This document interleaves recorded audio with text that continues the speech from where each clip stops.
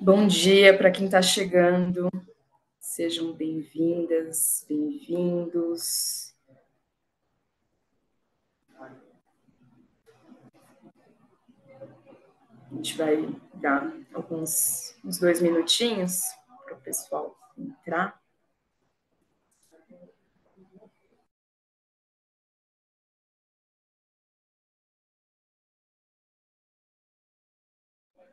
Se vocês quiserem se apresentar pelo chat, vai ser legal a gente ter uma noção de quem é que está aqui. Temos pessoas de vários lugares diferentes, estados.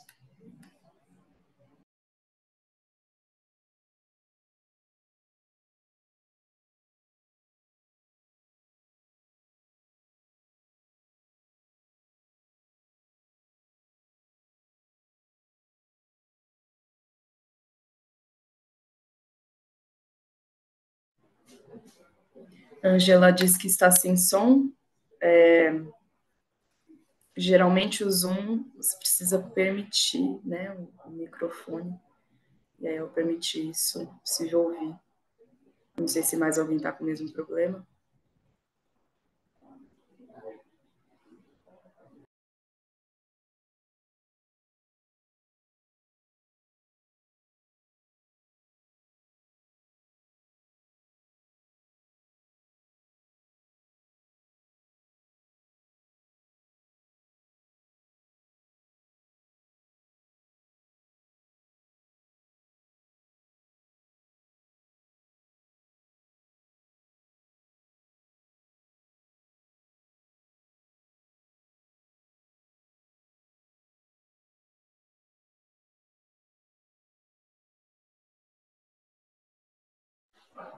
Legal, acho que a gente pode começar a apresentação.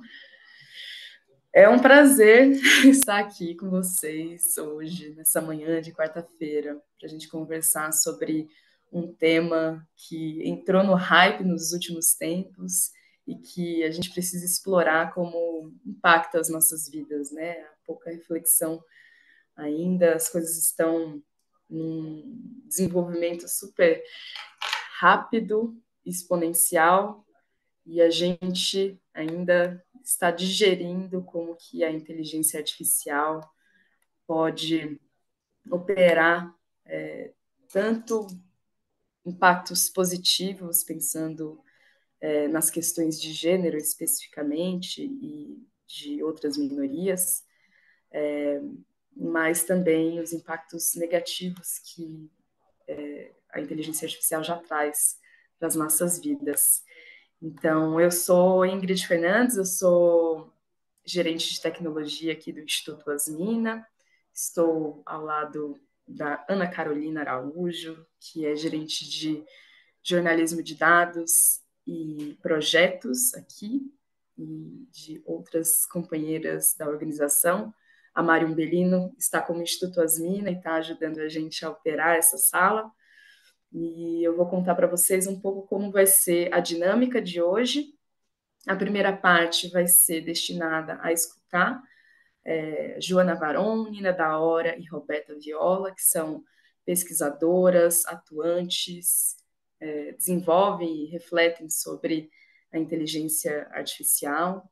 É, e a Roberta, especificamente, também está nos ajudando a desenvolver uma ferramenta é, que, que vai nos ajudar a classificar projetos de lei é, e seus impactos ao direito das mulheres.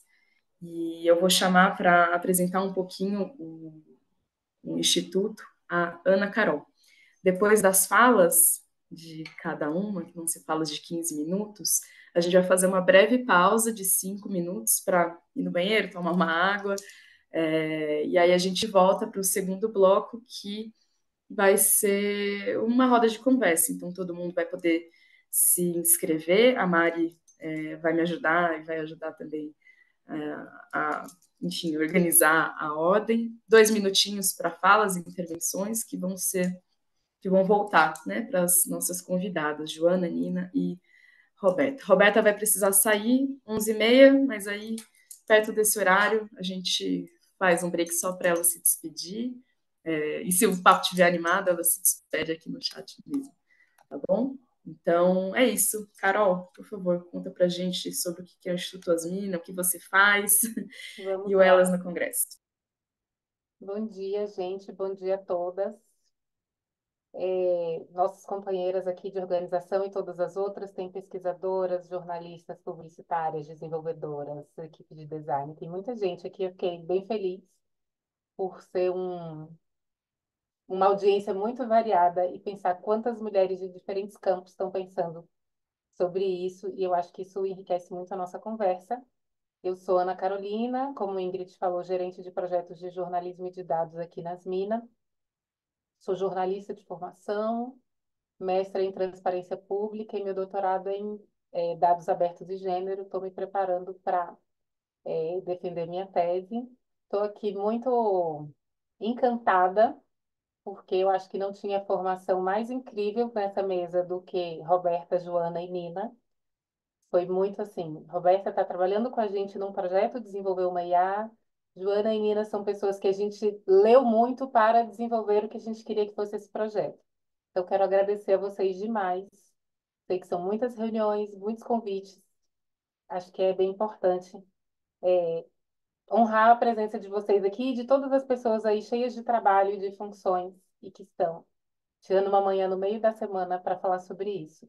Eu vou compartilhar uma apresentação muito rápida. Gente, e o branco de onde clica para compartilhar a tela? Share screen, tá verde, não tem necessidade de ter dificuldade. Espera, share. Só vocês me dizerem se foi. Acho que tá foi. Aí. Foi? Pronto, perfeito. É, essa é a capinha da sala de espera que vocês viram. É, bom, Asmina é basicamente uma resposta à desigualdade de gênero no Brasil que nasceu no coração de algumas jornalistas inquietas que trabalhavam em espaços onde falar em feminismo era praticamente uma ofensa. Ela nasceu há oito anos como uma revista digital apenas, e a nossa ideia era essa: usar comunicação, tecnologia e jornalismo para combater a violência contra as mulheres.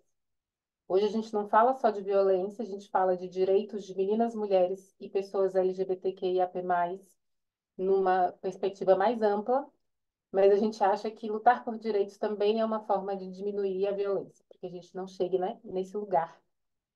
E eu não vou apresentar todos os, os projetos das Minas, porque são vários, mas a gente tem o Elas, que eu vou falar agora, a gente tem o Monitora, que acompanha a violência é, política online contra candidatas em eleições de cada dois em dois anos. A gente tem o Penhas, que é um aplicativo de ajuda para mulheres quebrarem o ciclo de violência, é, que tem ajudado muitas pessoas. A gente tem, gente, branco, uma série de ações que vocês podem olhar no site asmina.com.br mas que eu não quero é, tomar tempo aqui para que a gente possa conversar mais. Então, elas começou em 2020 e a ideia era essa: é, monitorar o que, que o, o, o Legislativo Federal estava falando sobre direitos das mulheres. E o que a gente entende é que, especialmente após essa escalada da extrema-direita do conservadorismo no Brasil, começaram a entrar na fila muitos projetos altamente prejudiciais aos nossos direitos. E Simone de Beauvoir dizia muito antes de nós que os direitos das mulheres nunca estariam garantidos, né? Aquilo que a gente acha que a gente já tem, em determinados momentos alguém vai lutar para que a gente deixe de ter. E aí a ideia era a gente precisa saber imediatamente é, o que está acontecendo e não saber quando essa lei já for aprovada, já estiver na segunda casa para revisão. É, esse projeto começou com uma robô no Twitter, que infelizmente foi de arrasta para cima em junho do ano passado, como várias outras coisas que acontecem no Twitter. Porque sim, né? A gente não precisa nem esticar essa discussão aqui.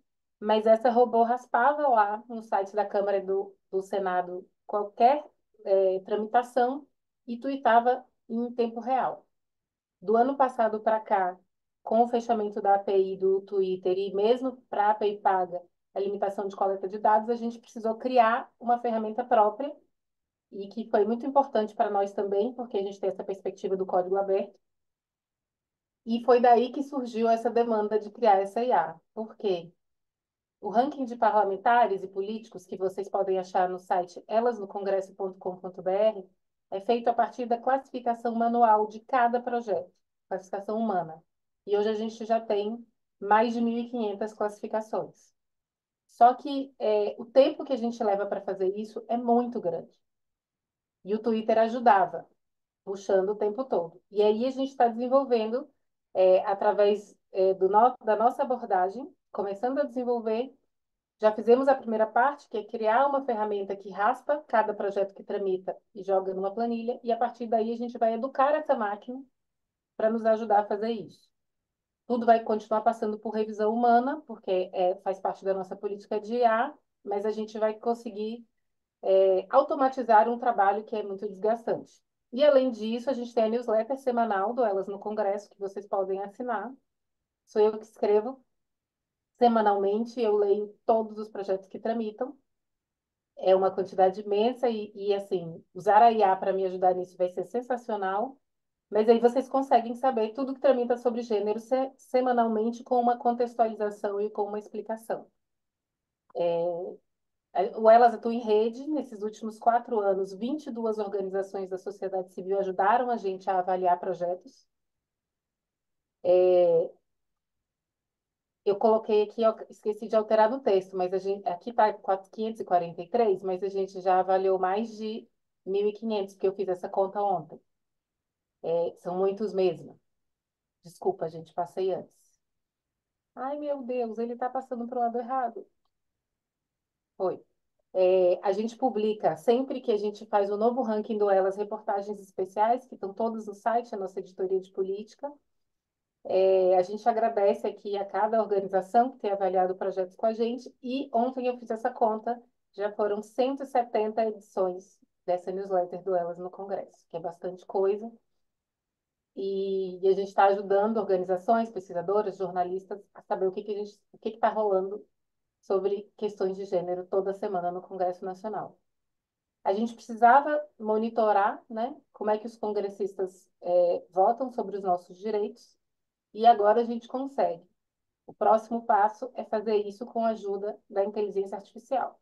Então, é, o Elas conseguiu criar um monitoramento que hoje, de fato, é, alimenta produção jornalística de alta qualidade, alimenta jornalismo investigativo, é, alimenta jornalismo local com as comunidades estaduais, regionais, conseguindo acompanhar o que que os seus parlamentares fazem no Congresso.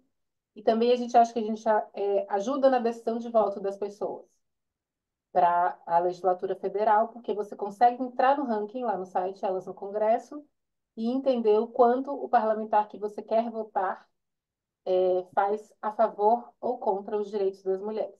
Além disso, é, várias ONGs, tanto parceiras como do projeto ou não, têm usado os dados que a gente levanta para conseguir é, fazer atividades de advocacy né, e defesa dos nossos direitos, incidência em Brasília, incidência regional, e a gente acredita que isso é, é bem importante.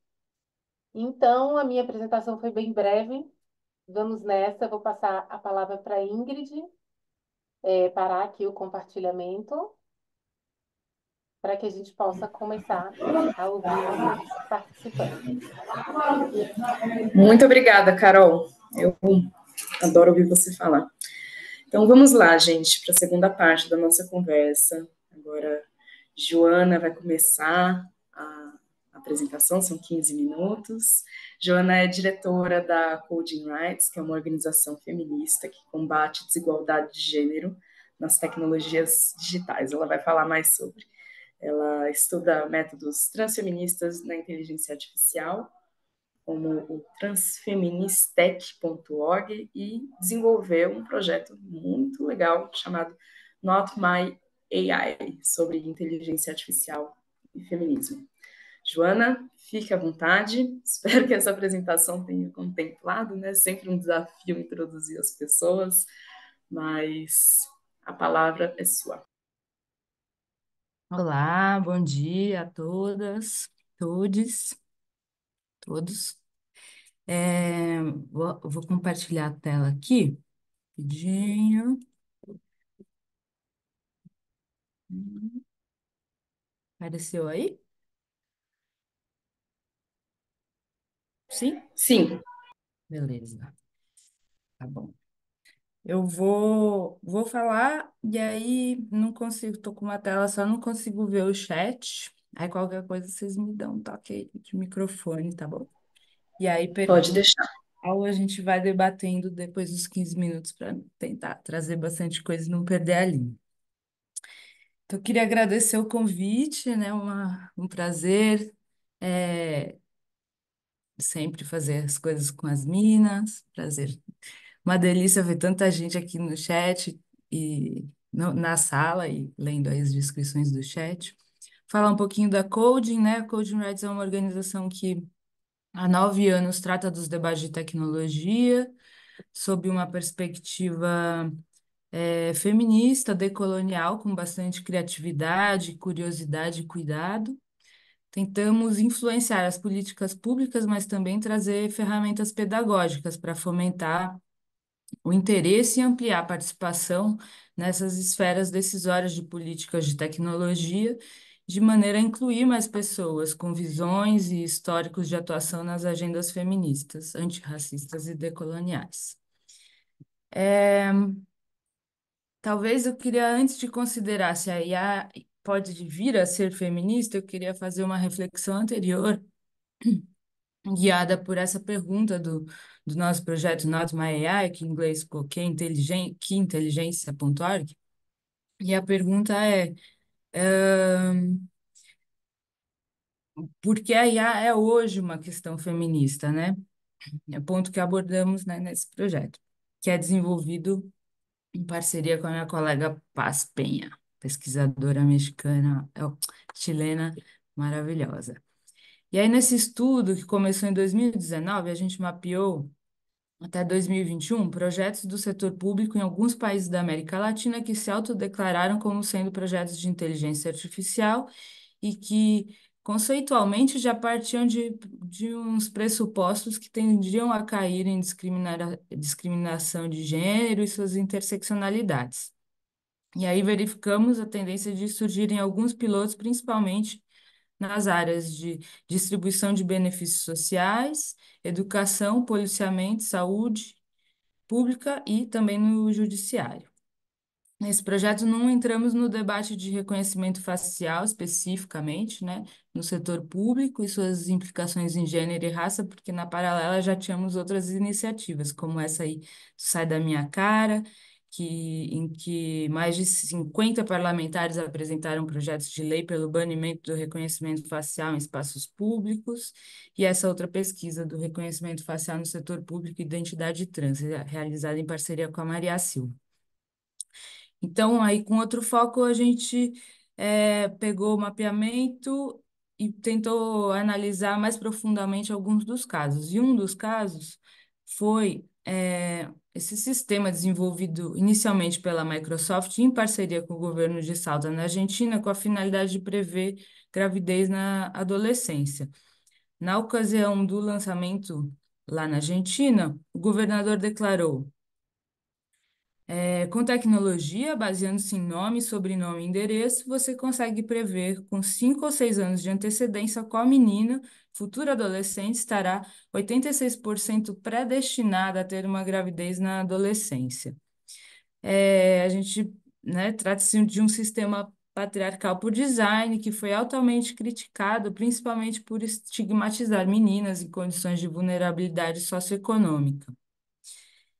E aí a gente, olhando os projetos, viu que um dos problemas principais que observamos é que as ferramentas de computação que caem sobre esse guarda-chuva da terminologia IA, que não é nem uma ferramenta específica, são várias ferramentas que caem nesse termo, que é um termo de marketing, elas estão sendo apresentadas sobre esse hype aí como se fossem soluções mágicas para resolver nossos problemas sociais, econômicos, políticos e até ambientais o que é um grande perigo, porque muitas vezes essas soluções são parte do problema. E pior, nesse mapeamento, a gente fez uma, um mapeamento ainda mais recente, olhando no Brasil, é, e aí de de 2021 a 2022, né, por pedidos de Lais, a gente viu que são vários, aí em verde, os ministérios e órgãos públicos federais do Brasil que autodeclararam estar usando algum sistema de IA, tudo isso sem regulação vigente. É um parênteses que hoje, mesmo às duas horas, tem uma promessa de que o relatório preliminar da Comissão de IA do Senado vai ser apresentado abordando uma série de projetos de lei que tratam sobre o tema e que estão estacionados. Então, olhando para esses sistemas, fizemos esse esquema, é, que serve como uma, um sistema de análise para avaliar se uma IA é, afeta, né, as nossas agendas feministas, né, seja por ser patriarcal por, por desenho, replicar racismo estrutural, causar danos socioambientais, vigilância da população mais pobre, propagar o colonialismo digital, condições precárias de trabalho e etc.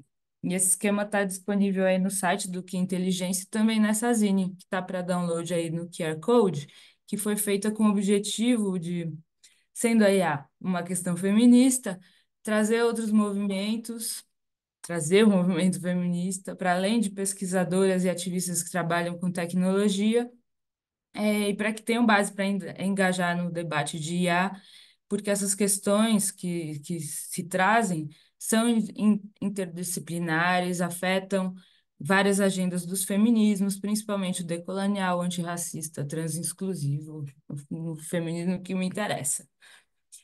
E a questão se complexificou ainda mais, né? A gente estava fazendo aquele olhar dos projetos aplicados no setor público, mas a questão se complexificou ainda mais a partir de 2023, com o boom da AI generativa, que de certa maneira popularizou, né, o acesso e uso de ferramentas que estão aí nesse guarda-chuva de IA, é, trazendo ainda mais problemas a mais conhecida, né, o chat GPT, inicialmente para texto, e a Midjourney para imagem, mas a cada dia se propagam outros exemplos, basicamente tratam-se de modelos de aprendizagem de máquina que geram um novo conteúdo aprendendo padrões de um conjunto de dados de treinamento.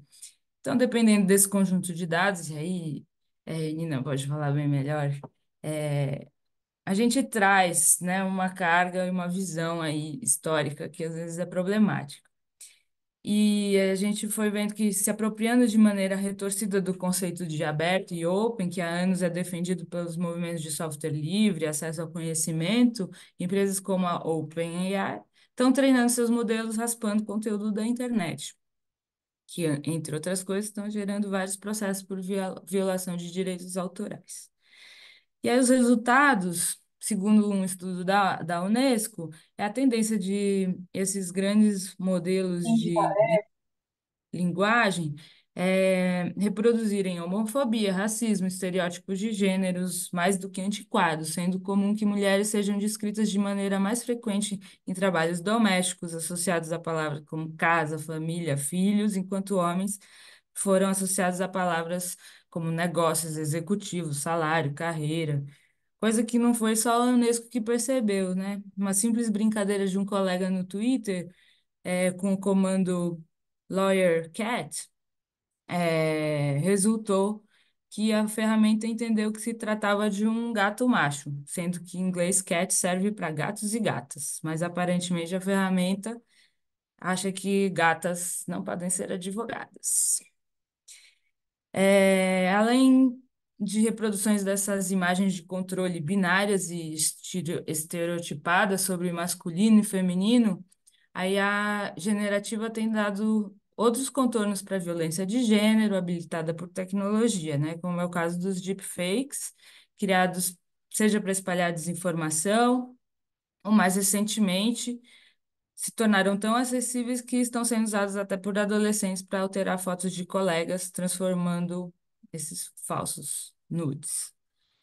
Outro aspecto a se debater são as assistentes, são assistentes virtuais, né, que por serem assistentes são criadas com imagens, vozes, traços femininos, ou ainda a criação de imagens de modelos, como é o caso da Sudo, modelo virtual, representada como sendo uma mulher negra, mas que foi criada por um homem branco inglês.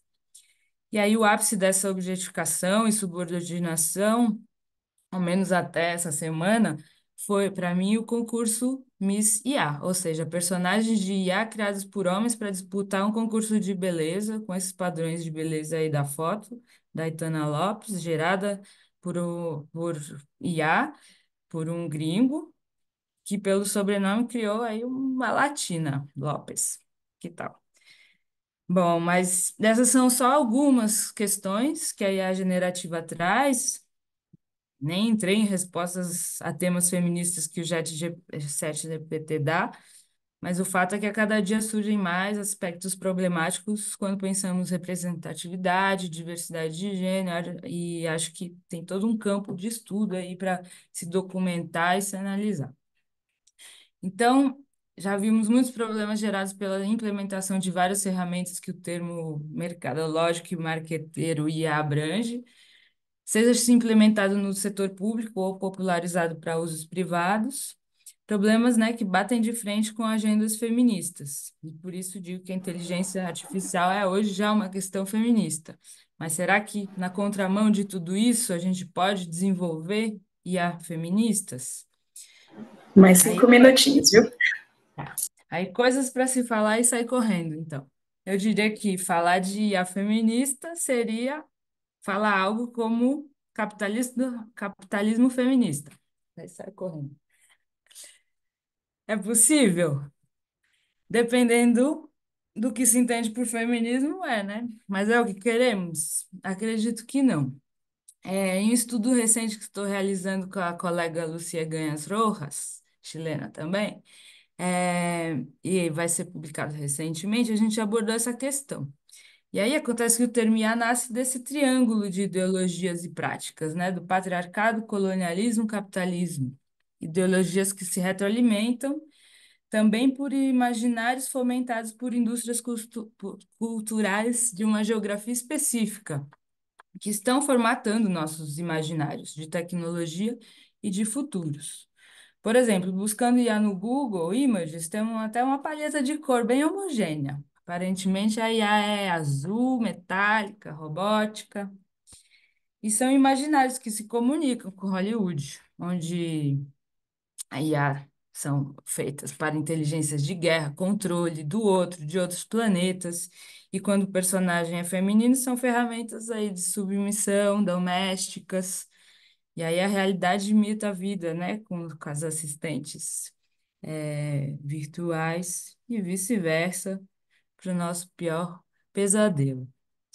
Então, eu acho que fica a pergunta: que inteligência é essa que está tentando, que a gente está tentando replicar usando IA? No projeto Cartografias da Internet, concebido com altas trocas com a Rede Transfeminista de Cuidados Digitais, a gente debateu a materialidade da nuvem. Outro conceito de marketing, nuvem, criado para pagar as relações geopolíticas por trás das tecnologias. E aí a gente destacou que nenhum CEO das grandes empresas de tecnologia é mulher, e com raras exceções, são todos homens brancos, cisgêneros, heterossexuais e capacitistas. E são essas visões e experiências de vida que orientam a programação dos serviços que usamos. Códigos que reproduzem violências coloniais e apagam diversidades. Esses CEOs se movem pela competitividade, pelo lema Move Fast and Break Things, né? Mova-se rápido e quebre coisas, e vir, que virou sinônimo de uma busca desenfreada por inovação, mas a custo de quê? Ao materializar a nuvem, o mapa também mostra né, o alto custo socioambiental dessas novas tecnologias. Uma IA para funcionar depende de água, de mineração, de energia, mão de obra, produz lixo, produz CO2. Então, além de quão inteligente, de perguntar quão inteligente, quão artificial seria essa IA? Dependendo tanto do trabalho humano e de recursos é, naturais, né? Aí a gente tem esse caso da inteligência artificial da Amazon, que, na verdade, para funcionar, precisava de milhares de trabalhadores indianos. E a sempre precisa de muitos trabalhadores numa mão de obra e de limpeza dessas bases de dados. É, mas, em vez de perguntar se essas se perguntasse as questões, né, de quão inteligente, quão artificial realmente são esses mecanismos, questões que afetam os nossos direitos humanos e justiça socioambiental, os líderes da indústria estão tentando focar no debate é, do futuro da IA e da sua regulação, numa ideia que é também hollywoodiana, de risco existencial. Em cartas abertas com outras colegas, como a Safia Nobel, a Timothy Gebru, a gente expressou preocupação com essa formulação futurista do debate que ignora riscos e danos presentes e bastante tangíveis. Como a Timothy Gebru bem observa, a preocupação não é sobre máquinas dominando o mundo, mas sim com a arrogância da comunidade de IA. E que arrogância, né? Certamente a visão de futuro tecnológico dessas pessoas aí da tela não batem com futuros feministas. E eles estão dominando é, muito desse mercado. Ainda lá no estudo das, com, com a Lucia, que a gente chamou de Engenheiras del Compost, é, que ainda está por publicar, a gente mapeou valores feministas que ficam de fora de toda a construção de imaginário é, quando a gente usa o termo, né? E são construções que ficam, são caras para os feminismos. E aí a questão que fica, para terminar, é a gente pode decolonizar nossos imaginários sobre tecnologias? Eu acredito que sim. E com o jogo do Oráculo de Tecnologias Transfeministas, desenvolvido em parceria com a Sasha Constança Choque com a Clarote, a gente tem literalmente brincado com isso.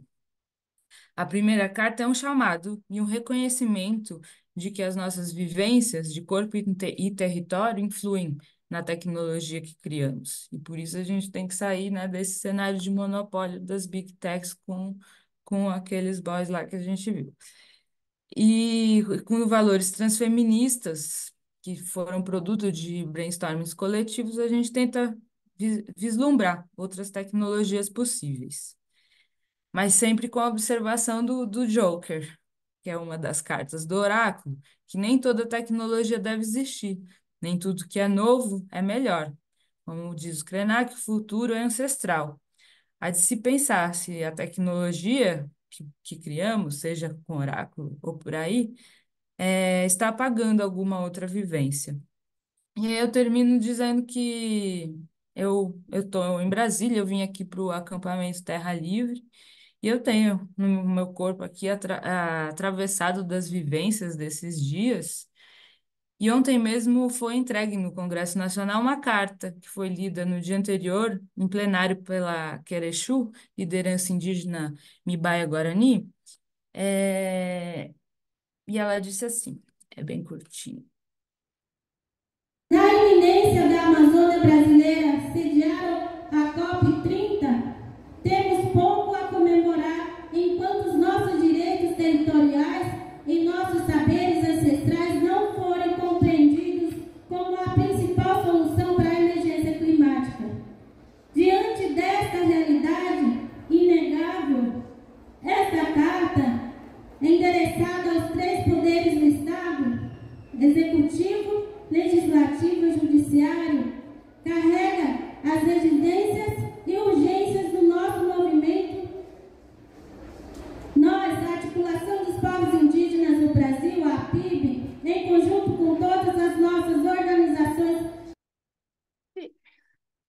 E aí fica, fica a dica de ler a carta, mas eu ressalto a demanda da Querechu de que ao invés de inteligências artificiais, é necessário que saberes ancestrais sejam compreendidos como principal solução para a emergência climática, né? E acredito eu que para outros problemas atuais também. Na iminência da Amazônia brasileira sediar E eu fico pensando, é, né? Joana, só é, avisando que o tempo acabou, viu? Tá bom. Tá, vou só finalizar então, que é isso. Eu fico pensando que muitas das soluções dadas, é, muitas das soluções estão dadas, né? E não são soluções, é, e são soluções que se encaixam fora desse triângulo e que às vezes a IA ainda está dentro dele. Para mim, uma, uma tecnologia feminista realmente disruptiva se desenvolve fora dele. No policy paper para o G20, que a gente está desenvolvendo com a Timothy e com a Sasha, é, que chama Fostering a Federated AI Commons Ecosystem, a gente é, ressaltou que a IA é extrativista hoje, feita desse mo modelo, né, dessas big techs, e aí fica dúvida se outras pipelines para desenvolver AI seriam possíveis. Obrigada. Deixa aí um QR Code para seguir a Empolvecida, que é a nossa polvinha que traz notícias de pesquisas da Code, essas que ainda vão sair, que eu mencionei, e das atualidades de tech. Desculpa estourar o tempo, mas era muita coisa para falar. Sim, muito obrigada, viu, Joana? Muito bom te ouvir. Agora eu vou passar a palavra para Nina da Hora é cientista da computação, pesquisadora, ativista antirracista, mestranda em visão computacional na Unicamp e que integra várias iniciativas de segurança cibernética e justiça algorítmica. Em 2020, fundou o Instituto da Hora, que, como o próprio nome diz, é bem da hora, para promover o avanço dos direitos digitais no Brasil e uma abordagem crítica em relação à inteligência artificial. Fique à vontade, Nina, a palavra é sua. Obrigada, Ingrid, pela apresentação. Obrigada, Ana Carol, pelo convite, pela paciência das respostas. Estava muito difícil a agenda de encaixar para conversar com vocês. É, parabéns aí pela organização e pelos projetos que vocês vão colocar na rua, já que vocês adiantaram, que vocês estão desenvolvendo com a Roberta, dentro dessa pegada. É, tenho 15 minutos para apresentar, eu separei alguns links. É, eu geralmente não faço apresentação slide, só porque quando eu faço apresentação slide eu me perco mais do que sem a apresentação de slide. Então, mas eu separei alguns links para mostrar aqui para vocês. É, e é um prazer estar dividindo aí a, o painel com a Joana e com a Roberta. É, a Roberta conhece o trabalho por causa de amigos da UFMG aí, BH, e a Joana eu conheço trabalho há muito tempo. Eu não vou falar quanto tempo eu conheço a Joana para não falar que eu estou falando de idade, mas vou botar que são mais de 10 anos se a gente for fazer as contas. A gente for fazer as contas, está por aí. Então é sempre bom ver tudo que Joana Code Wright vem é, historicamente desenvolvendo. E aqui eu vou ficar dentro de um. Vou me colocar numa caixinha, é, que eu tenho feito isso há alguns anos, é, com a visão mais da computação porque eu acho que nós estamos fazendo, cumprindo papéis importantes da crítica, do levantamento, né, e o diagnóstico de problemas, é, mapeamento do que deve mudar, mapeamento de perfil e de perfis, melhor dizendo, de pessoas que estão atuando na tecnologia, é, o que deve, o que deve alterar te, entre os territórios quando você começa a desenvolver é, tecnologias. E o papel do cientista da computação, ou da cientista da computação, melhor dizendo, é justamente conseguir se inteirar desse debate e contribuir para é, remodelar os códigos e remodelar os conceitos de inteligência artificial.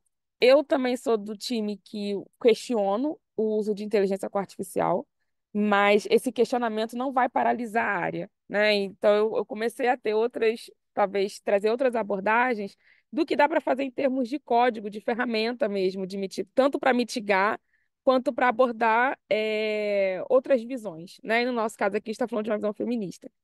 Mas antes de mais nada, antes que a galera do Instituto que está aqui me chame a atenção, eu vou falar um pouco do Instituto. É, como já foi adiantado pela Ingrid, o Instituto foi fundado em 2020. A equipe de pessoas negras e indígenas, a gente tem trabalhado muito com o povo Baniwa, na representação do RAI, que é um dos nossos pesquisadores, em Rio Negro. É, estamos trabalhando muito em, nos territórios mais assim de Recife, em Belém, com, com as manas digitais como parceiras, e Recife, é, agora com Fruto de Favela e com Batec.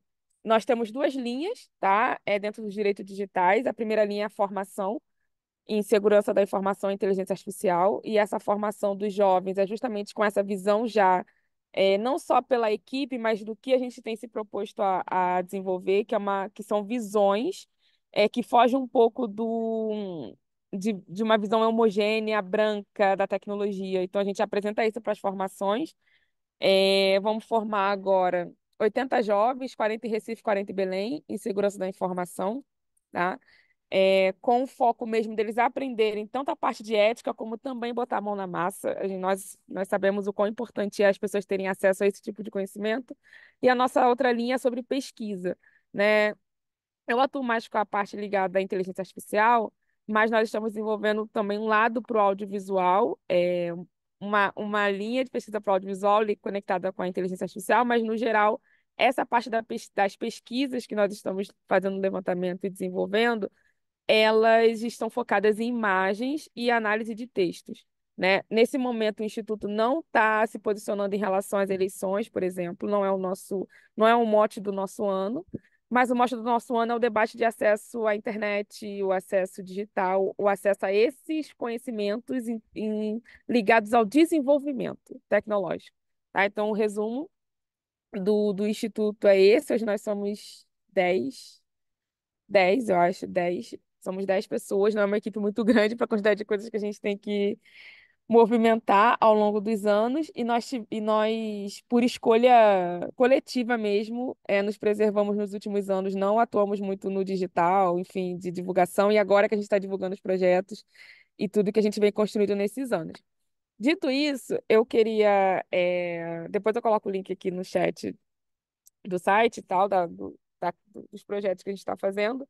É, eu queria começar trazendo talvez alguns questionamentos em relação ao que nós estamos considerando inteligência artificial feminista ou uma IA feminista e o que nós estamos considerando da justiça dentro dessa, desse conceito, né? Do que, do que seria justo ao você pensar o desenvolvimento de uma IA é, feminista. Né? E dentro desse justo, cabe outros recortes, os recortes raciais, de territórios, os próprios recortes que existem dentro do, da temática é, do feminismo e que o código não vai conseguir representar isso totalmente, né, em sua eficiência. Então, eu queria começar falando da limitação dos próprios códigos, seja de inteligência artificial ou código de desenvolvimento de software no geral, que eles não vão conseguir representar neste momento, nós não temos recursos computacionais para uma representação robusta que se adeque à complexidade da discussão.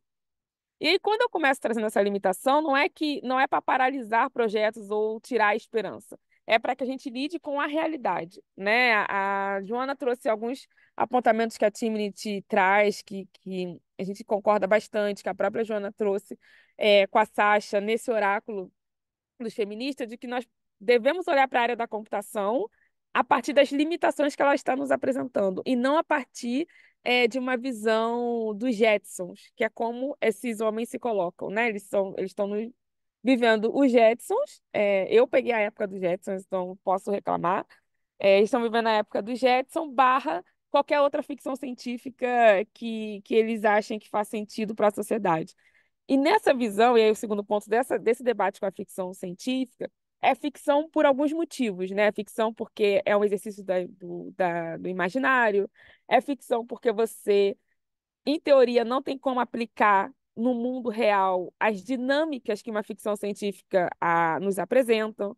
É, é ficção por motivos óbvios que sai unicamente da cabeça de uma pessoa, todas as cenas, o roteiro. Então, eu queria começar questionando também, eu queria trazer esse questionamento da ficção científica, porque no terceiro ponto eu vou trazer algumas iniciativas ou alguns encaminhamentos. É é uma pena que das iniciativas que eu participo ainda não tem muita coisa aberta, porque a gente está desenvolvendo, mas tem algumas ideias que eu posso deixar aqui para discussão, tá? Em termos de código. Eu vou tentar não ser computeira demais, mas é que eu fico muito animada de mostrar do que dá para fazer nos códigos também, sabe? Porque senão a gente fica num no local, talvez, muito preso a ficar discutindo com esses homens, e eles são muito cansativos.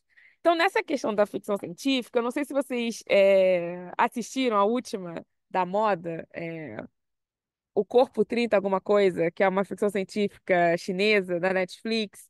É, peraí, que eu vou pegar o nome direitinho, né? Porque eles não são americanos, dá, vale a gente é, citar. Mas, enfim, nessa, nessa, nesse, nessa série, porque é uma série de três livros, né? O Problema dos Três Corpos. É uma série de três livros. E eu já li os três livros. Eu não vou trazer nenhum spoiler aqui. Mas eu já li os três livros em um outro momento, por, sei lá, por, por querer exercitar o, a leitura de ficção científica que não fosse americanizada, que não tivesse aquele sonho da conquista de um outro país por detrás, porque todas as ficções científicas americanas terminam em Marte ou qualquer outro país que eles querem colonizar. E esse, e nesse caso, esse autor, ele ele ele samba um pouco, não no bom sentido, porque ele tem algumas contradições em relação ao próprio país, né, a China, e ele tem algumas contradições em relação à democracia. Então, se vocês forem procurar a história do autor e como ele se posiciona, vocês vão tomar um susto em relação ao que foi apresentado na série, tá? Então, esse é o único spoiler que eu posso trazer. Mas o ponto ali é, da série que diferencia da, da ficção científica da americana é o esforço de você tentar representar na física e na tecnologia o mundo real. E aí eu queria fazer esse paralelo com o atual momento da inteligência artificial. Né? Eu trabalho muito com imagens, então acaba que os meus exemplos eles são de imagens, porque de fato trabalho com visão computacional. Eu não trabalho muito com texto ainda.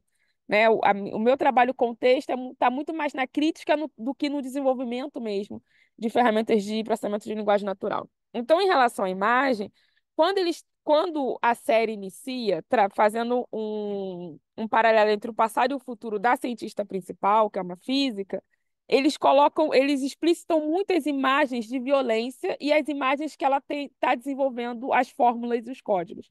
E eu queria parar, queria, queria que parar aí, eu não tenho como mostrar esse vídeo, porque a Netflix não abriu, outro problema também, é, mas quando vocês assistirem, vocês prestem atenção nessa parte. Logo nos primeiros 10 minutos da, da, do primeiro episódio, eles diferenciam entre ela trabalhando como física, ali tentando aplicar a fórmula, e a violência que a família dela sofreu, que fez ela querer colonizar, né, ou querer alterar a rota da sociedade a, na, a partir daquele momento. Dentro dessa dinâmica, para a dinâmica que nós estamos hoje, todos os especialistas de inteligência artificial, de alguma forma, e eu me coloco dentro desse grupo, é, estão tentando representar diferentes mundos a partir dos códigos. Então, por mais que eu trabalhe com ética e inteligência artificial, eu sou cientista da computação por alguns motivos. Eu gosto da área. Então, o que vai me, me impulsionar são as possibilidades né, de ferramentas diferentes que eu posso desenvolver em, em conjunto para aplicar na sociedade e resolver problemas. Então, isso não pode ser esquecido só porque eu sou uma pessoa negra na tecnologia. Né? Eu continuo na área por esse, por esse motivo. Esse motivo me impulsiona, mas eu tento representar a sociedade de uma forma diferente. E aí entra é, o trabalho da ética. E agora eu, eu, posso, eu vou compartilhar, dada essa introdução, eu estou vendo aqui o tempo, tá, Ingrid? Para você não precisar abrir a me chamar a atenção. Mas agora, beleza. Agora dá para compartilhar, dada essa, essa introdução, é... Calma aí, que. Deixa eu ver qual é a tela. Esquece aqui. Pronto. Não precisa. Né?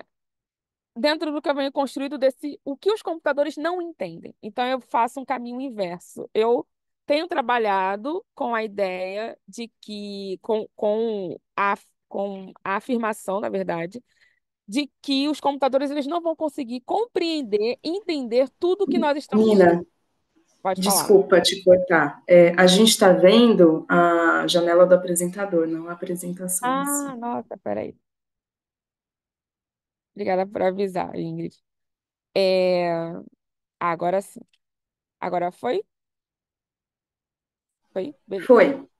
E eu sempre eu, eu trago esse livro aqui da Meredith é, porque eu gosto bastante, eu sempre estou revisitando ele. Tem um livro da Kate O'Neill, é, tem os trabalhos que a, que a Joana divulgou, mas esse sem, eu sempre tenho que retornar nele, justamente pela proposta de você tentar criticar, tentar trazer o que os computadores não estão entendendo ou o que eles não vão entender, e não o que eles estão entendendo. Tá? Então, esse caminho é, inverso de pensar o histórico dos dados, o que, que os computadores realmente entendem, qual a nossa responsabilidade nesse desenvolvimento, tem me interessado mais como ponto de discussão. É... E aí, uma filosofia de vida rápida que eu sempre compartilho, né? É... Realmente não tem como ser cientista, não importa, não importa a área que eu siga daqui para frente, se eu vou ficar na computação ou não, é... mas não tem como você ser um cientista calmo. Não que eu seja uma pessoa que vai sair brigando com todo mundo, não ainda, mas quando eu ficar mais velha, com certeza. Mas não tem como ser um cientista calmo, frio e imparcial dentro de um mundo que os linchamentos estão para todos os lados. No meu caso, que me pega muito é para a comunidade negra. Né? Então, assim, como filosofia de vida é o que eu tento aplicar, mesmo com todas as resistências na computação. É, no mestrado, no meio acadêmico, eu vou continuar encontrando essa resistência, mas a forma que eu tenho de fazer, esse, de fazer as divulgações de fazer os trabalhos é seguindo essa filosofia de vida. E aí eu tenho como separar aqui para vocês duas abordagens que talvez a Joana até adiantou algumas em relação aos projetos que elas fizeram, que elas trabalharam, mas é importante entender como a, está acontecendo na computação e como que a ética tenta interferir no desenvolvimento desses algoritmos, tá? Então, na computação, realmente o método é o, o, o, o método mais usado é o estatístico, tá? Para investigação de qualquer problema no dataset. O que, que eu estou querendo dizer com isso? Quando surgiu ali, a partir do, do paper Gender Shades, né, da Joy da Timinity, que elas trouxeram, apontaram problemas é, para para o uso de reconhecimento facial, viés de gênero no uso do reconhecimento facial, elas também usaram métodos estatísticos para apontar esses problemas. Elas utilizaram métodos estatísticos para investigar por que, que o reconhecimento facial, por que, que a, os projetos da Amazon e da Microsoft não estavam conseguindo reconhecer mulheres negras, por que, que as vozes, né? Depois elas fizeram, teve um outro artigo em relação à Alexa, da Alexa colocar do, do porquê que eles estavam colocando vo só vozes femininas na Alexa, nessa ideia de da mulher subordinada ao homem, ou mulher subordinada na sociedade. E todos esses projetos que nós usamos como exemplos, eles usaram métodos estatísticos para investigar o problema. Então, quem está na computação precisa, ou assim, é impulsionado a usar o método estatístico para fazer a investigação de qualquer problema, tá? Isso diferencia quando você traz a ética, porque a ética eh, não é sobre o método quantitativo, é sobre as boas perguntas. Então, eu pergunto: de onde vieram esses dados? Essa é a primeira pergunta quando você está trabalhando com ética. Na comparação de modelos algorítmicos, e aqui eu só não coloquei muito extenso, mas eu tenho uma imagem dessa parte, só para passar um pouquinho. Isso aqui é basicamente o que eu trabalho o, o, no meu dia a dia, tá? Eu fiz um resumo aqui do método que eu trabalho mais, que é um método de como que treina as imagens é, de pessoas diversas para eu conseguir aplicar no reconhecimento facial ou aplicar em qualquer outra análise de imagem possível, como análise de imagens médicas, é, análise de imagens nas redes sociais para quando você tem que marcar seu amigo na foto. Então, esse método aqui ele é aplicado em diferentes, diferentes sistemas e diferentes plataformas. Nesse exemplo aqui, eu estou trazendo como que acontece a extração tá, de características faciais para poder contribuir no, no reconhecimento facial. Todo mundo sabe que eu sou contra o reconhecimento facial. Eu não tenho mais nenhum problema para falar isso. Eu sou a favor do banimento na segurança pública.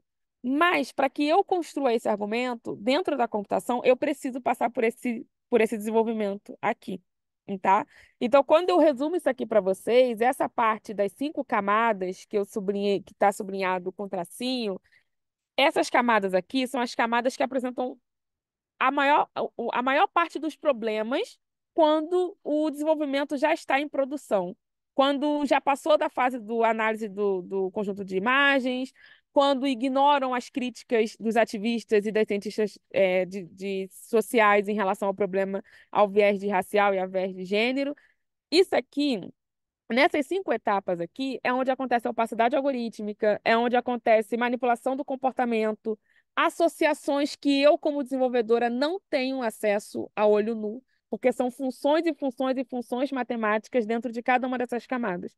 Então, é importante entender a complexidade dessa etapa, porque muitos cientistas da computação estão trabalhando para tentar tornar mais explicável essas camadas. Então, quando a gente fala de tentar desenvolver ferramentas que, que são contra-hegemônicas, significa você tentar entender essas camadas que apresentam problemas, tentar entender ao máximo para que você não reproduza isso no seu desenvolvimento. Então, isso está bem é, atrelado à, à proposta de vocês desenvolver IA feminista, porque vocês vão precisar usar técnicas que já estão postas, que já estão é, consolidadas, e vão ter que fazer uma engenharia reversa nessas técnicas. Essa é uma das técnicas quando está trabalhando com imagem. Né? Então, é, eu achei interessante de trazer e pular logo para essa parte. E as outras duas é, perguntas ou visões que diferem das abordagens quando você está trabalhando com ética é que na computação você tem a tecnologia como a solução da desigualdade social, em qualquer aspecto. tá? Então, é, é só vocês participarem de hackathon. Hackathon tem muito isso. Hackathon de inteligência artificial, hackathon blá blá blá, é, que coloca as pessoas ali reunidas em um grupo e elas têm que ficar usando tecnologia para resolver qualquer problema. Então, na computação, isso é muito, muito, muito, muito é, impulsionado. Enquanto que quando você traz na tenta trabalhar com uma abordagem diferente na computação, você pergunta o que é responsabilidade na era digital. Você inverte. Ao invés de você tentar resolver o problema da desigualdade logo de cara, você tem que entender o que é responsabilidade na era que nós estamos vivendo agora, tá? E aí você faz um comparativo com o histórico, com o passado, para tentar pensar o presente. Aí vai um pouco da linha de você ter outras visões de mundo atreladas a esse desenvolvimento. E as perguntas também se diferem, né? É, a responsabilidade do algoritmo, na minha perspectiva, não existe, mas ela é a pergunta mais feita atualmente pelos especialistas que acreditam numa IA soberana, né? Uma IA superior aos seres humanos. Enquanto para quem está trabalhando com a ética, ela quer, é, nós estamos preocupados em saber qual a responsabilidade humana nisso. Eu fiquei tentando pensar a melhor palavra, indivíduo também não é uma palavra muito boa, e talvez humana, porque aí traz as características emocionais e não emocionais para jogo, porque isso vai influenciar na responsabilidade, como nós devemos ver a responsabilidade é, nessa, nesse desenvolvimento.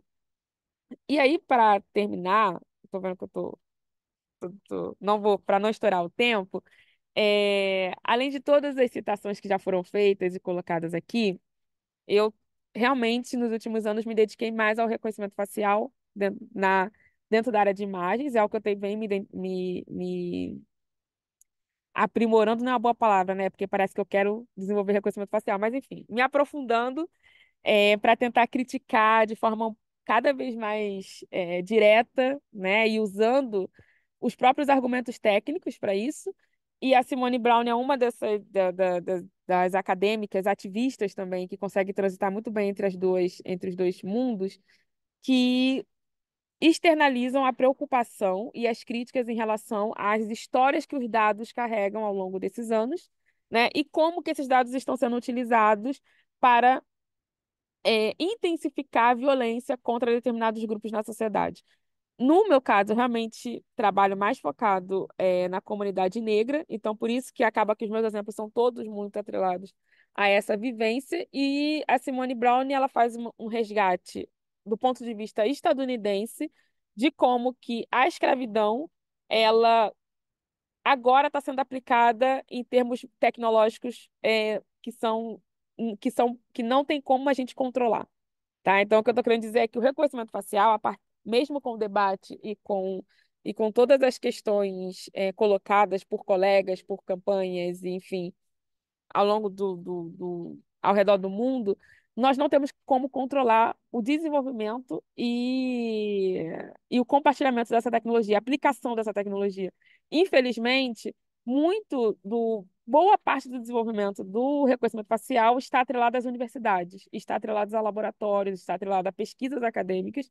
E dentro da pesquisa acadêmica você tem a ética, mas você não, não tem o controle de como essas pesquisas estão sendo desenvolvidas e colocadas e aplicadas. Então, eu queria finalizar dentro dessa temática de ecos do passado, para que a gente pense também, já que estamos aqui numa proposta de discutir, vocês já estão levando à frente a possibilidade de construir ferramentas que sejam contra-hegemônicas dentro de uma perspectiva feminista, o, o que seriam os ecos do passado que não podem ser reproduzidos, é, mesmo que, você, que, que nós tenhamos toda a teoria e as discussões consolidadas nesse campo, no sentido assim, de que nós não somos homens brancos, mas tem outros tipos de violências que podem ser reproduzidos, né, e que foram ecos no passado e que podem retornar agora nesse desenvolvimento. Então, era isso, gente. Acho que deu o tempo e a Ingrid não precisou chamar minha atenção. Obrigada. Eu também super fui me perdendo aqui, prestando atenção. Confiei. É, muito obrigada, Nina. Muito obrigada mesmo. É, depois tem uma perguntinha aqui no chat. Ah, tá, já mandaram, já foi respondida, que era a respeito de um artigo.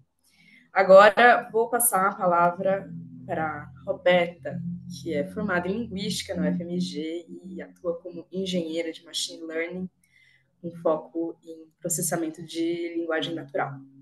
Ela é doutoranda em ciência da computação na FMG, já foi professora de processamento de linguagem natural na PUC Minas e desenvolveu projetos de inteligência artificial para organizações como a Agência Lupa e o projeto Parlametria. E agora também está ajudando a gente a desenvolver uma ferramenta para elas. Contigo. Obrigada, Ingrid. Bom dia, pessoal. Eu sou a Roberta. É, eu, como a Ingrid falou, trabalho com aprendizado de máquina e como a Nina, eu estou nessa caixinha da computação também, né?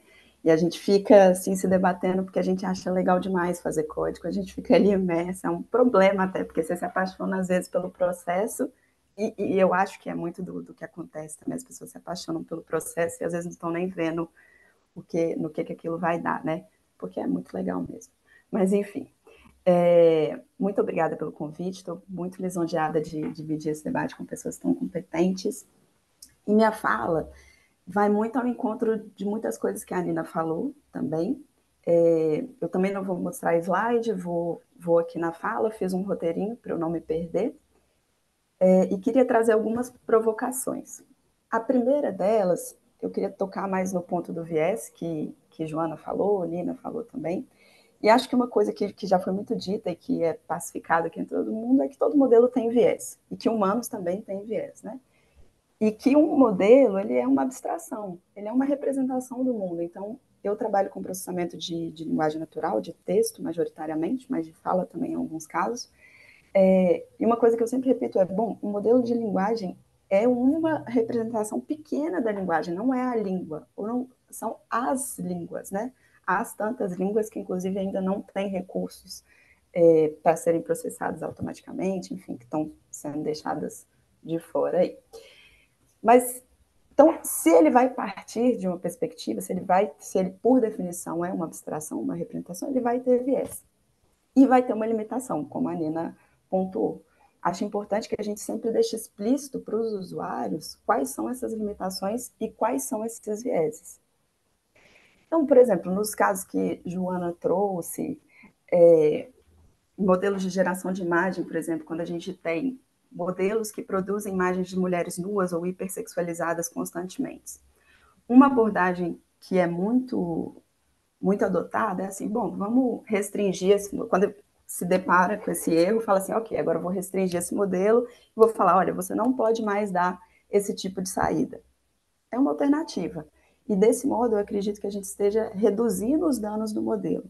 Mas eu queria trazer para o debate a ideia de que a gente pode ir ainda um pouco além e pensar na produção de modelos que não só trabalham para restringir esse tipo de saída, e que aí não tem, enfim, saídas machistas, por exemplo, mas modelos que são de fato feministas, né? Como que a gente pode construir um modelo que é de fato feminista? Ou que não só não tem saídas racistas, mas que é um modelo antirracista? E assim por diante. Como que a gente pode criar tecnologia mais justa é, e deixar claro para os usuários, deixar explícito as limitações daquele modelo e ao que ele se propõe e qual viés ele está seguindo, né? Usar o, o, viés ao nosso favor. Eu acredito que, que dá para fazer isso, assim, de alguma forma, né? Como a Nina falou, a gente tem algumas limitações ali da própria arquitetura dos algoritmos, mas num bom trabalho dos dados, e é um outro ponto também que eu, que eu sempre bato, assim, quando eu pego algum projeto para fazer, aqui nas minas, por exemplo, não vai ser diferente, eu gasto 80% do meu tempo trabalhando o dado, trabalhando com o dado, ajeitando o dado, verificando esse dado. E aí os outros 20, 10%, 15% eu vou trabalhar com o algoritmo ali, com o treino do modelo, etc. E depois a avaliação do modelo é algo que eu gosto de me dedicar muito também. Geralmente a avaliação na computação é feita com métricas só, né? A gente fala, ah, quantos exemplos a gente acertou, quantos a gente errou, quantos falsos positivos, falso negativo, curva de aprendizado, esse tipo de coisa. Mas eu acredito muito numa análise qualitativa também, que, que, que é um pouco do que a Nina falou das perguntas éticas que a gente faz ali no final, né? As perguntas certas, perguntas melhores, assim, para entender, tá, é, eu estou falando que meu modelo está acertando 80% dos exemplos, mas que exemplos são esses? Né? O que eu falei que é uma escolha acertada para esse modelo?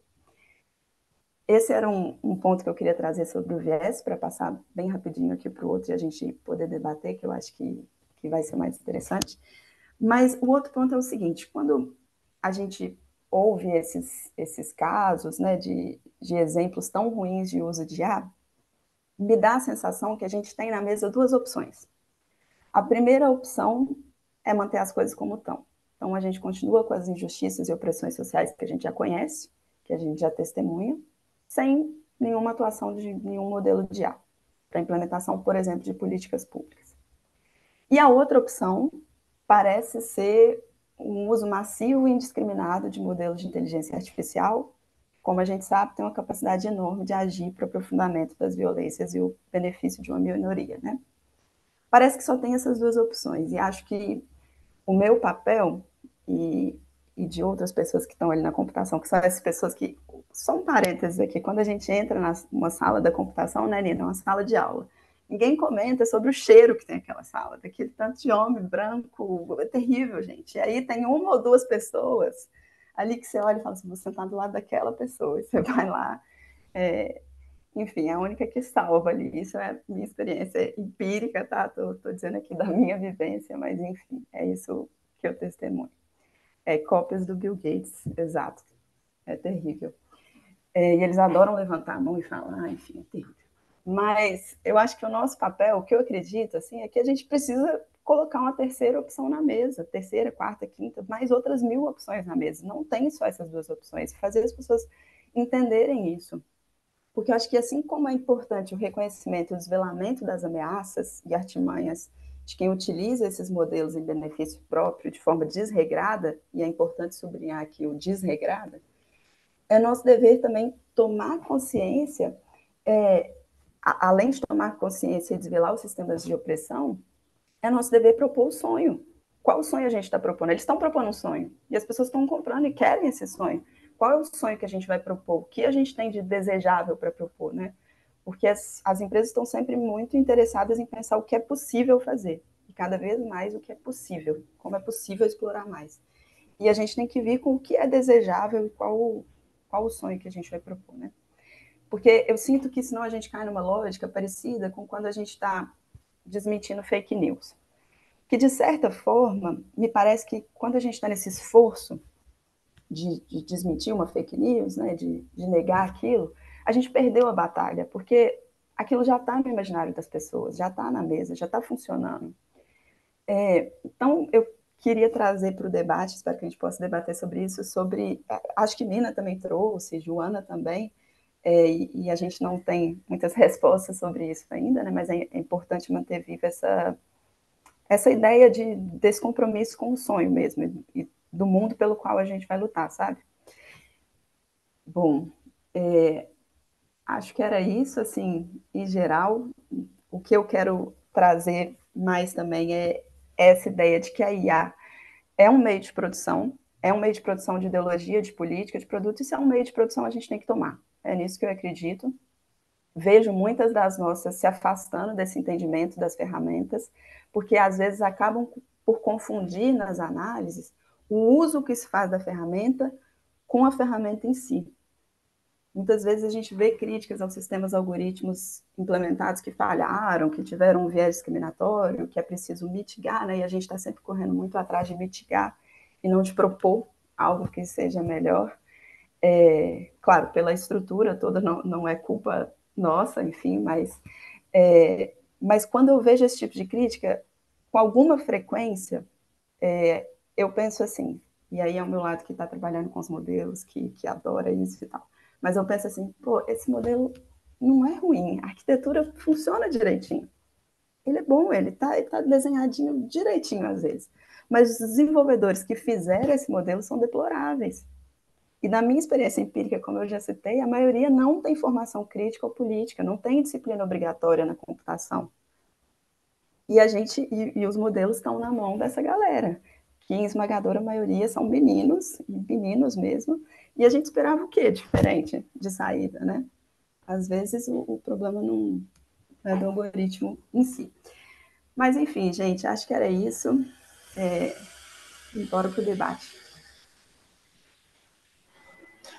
Muito bom te ouvir, Roberta. Muito obrigada. Agora eu vou convidar todo mundo a fazer uma pausa breve de cinco minutos para levantar, ir no banheiro, quem quiser.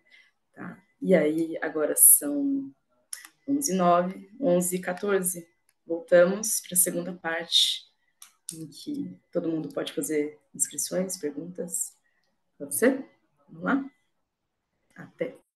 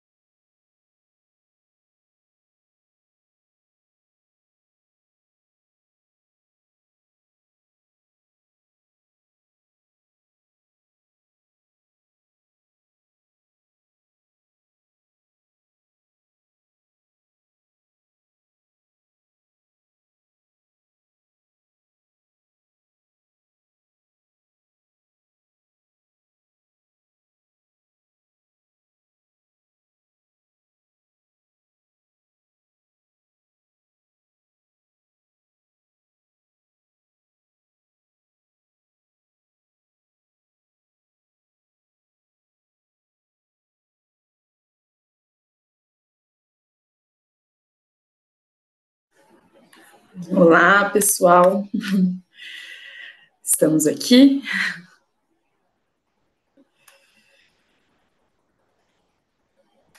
Estamos chegando. Perfeito.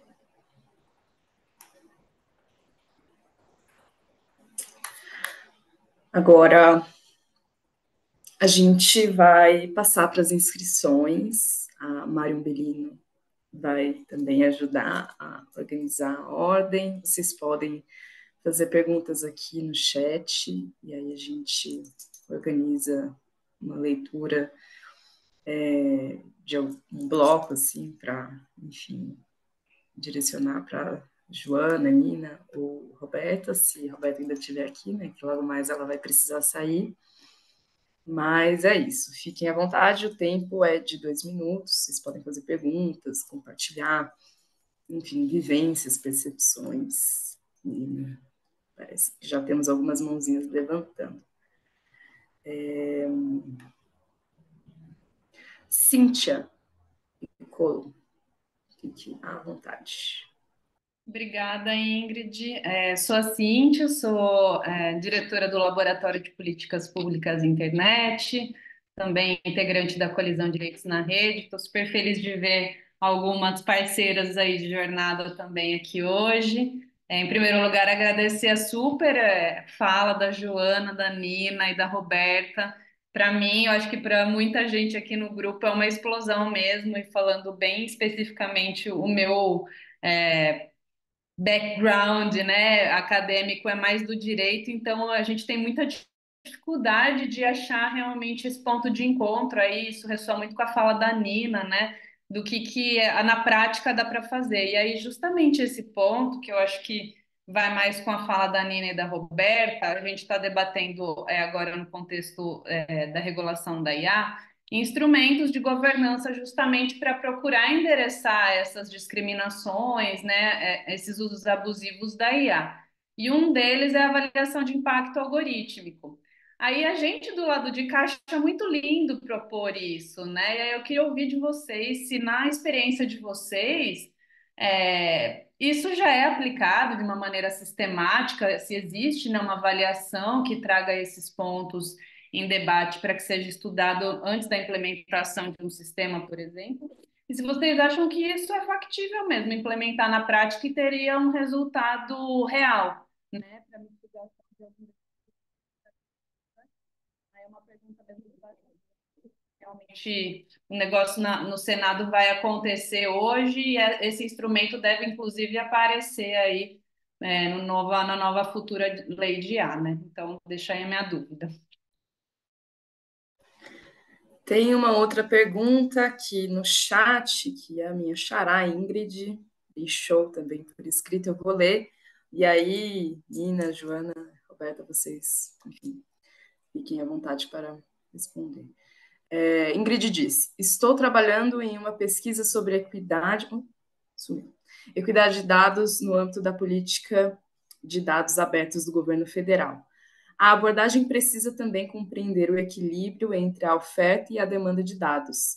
Não vislumbro outra forma a não ser um ecossistema participativo e representativo por contexto.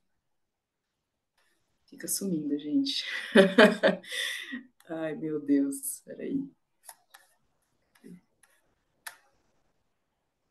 Aqui. É, como construir esse modelo entre governo e diferentes comunidades e grupos subrepresentados para efetivamente considerar nas políticas dados mais justos?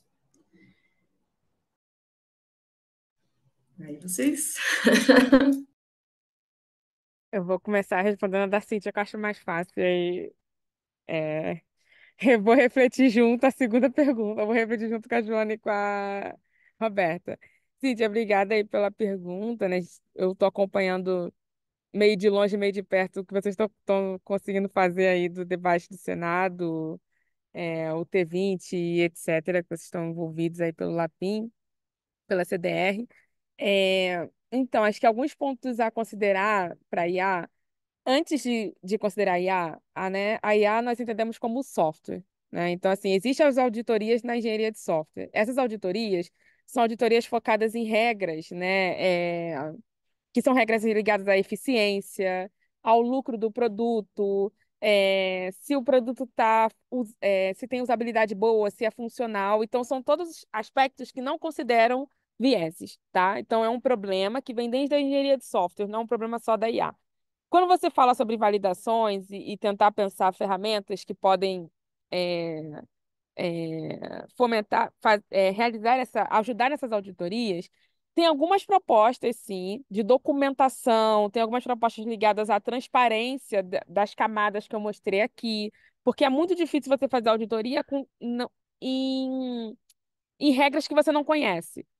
Agora, as regras que nós conhecemos, que foi o que nós ficamos dialogando aqui, sobre os, os homens brancos que estão desenvolvendo, as escolhas, as tomadas de decisões que são, pré, são feitas antes do desenvolvimento da tecnologia, elas podem ser auditadas independente da ferramenta. Então, acho que tem um ponto aí da discussão da regulação que é pensar antes da, desse, da, pensar auditorias antes da, da ferramenta, da aplicação da ferramenta.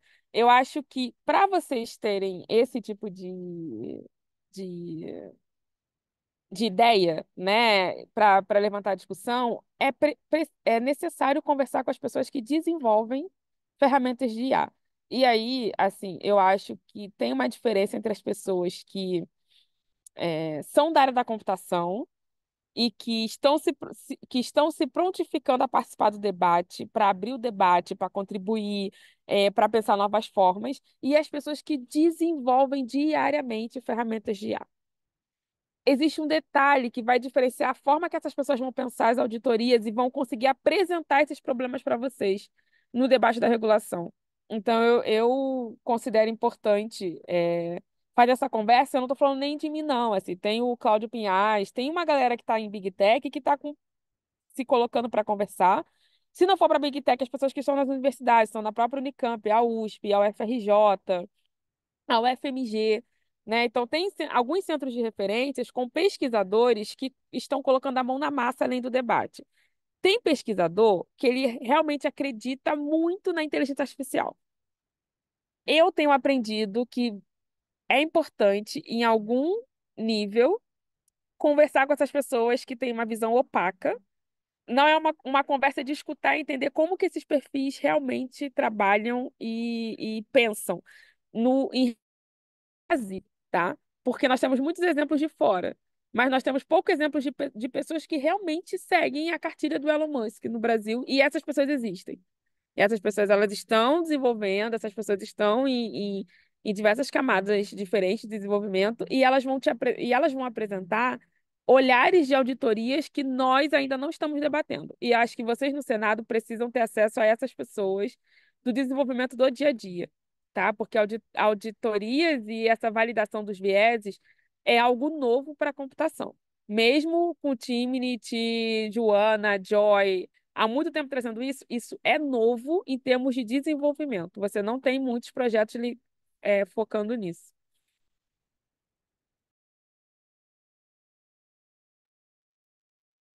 Queria complementar com um ponto tem também a questão, tem até um paper que é da Sasha, não sei se com a Joy junto, mas da galera do Algorithm Justice League, que a Joy fundou, a Joy Bulamwini, né? É, que é Who Audits the Auditors? Quem audita os auditores, né? E, e aí é isso, tem toda a questão uh, de uma legislação, da legislação, das leis, né? As leis são é, passam ou não passam em contextos políticos, né? É, a gente precisa ter uma lei de IA, mas até hoje nenhuma lei de IA trata da questão do, do monopólio dessas big techs, né? E se você é uma big empresa com monopólio e tal, nas leis ambientais a gente tem, né, né é, obrigação de avaliar risco e tal.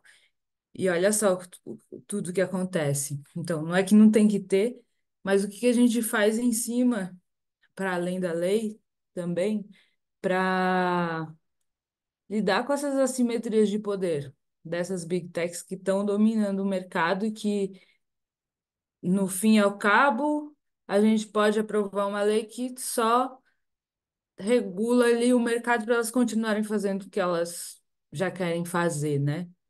Então tem uma parte que até eu acho que toda a onda que a gente teve de super necessária, participei desde o começo, regulação de leis de proteção de dados pessoais, mas quanto também, além de ser importante, isso, né, uma visão dupla. Isso também não serve para um mercado é, só falar, estou seguindo a lei, que é baseada no consentimento, que ninguém sabe direito que consentiu, e vai, abre abre porteira também, né?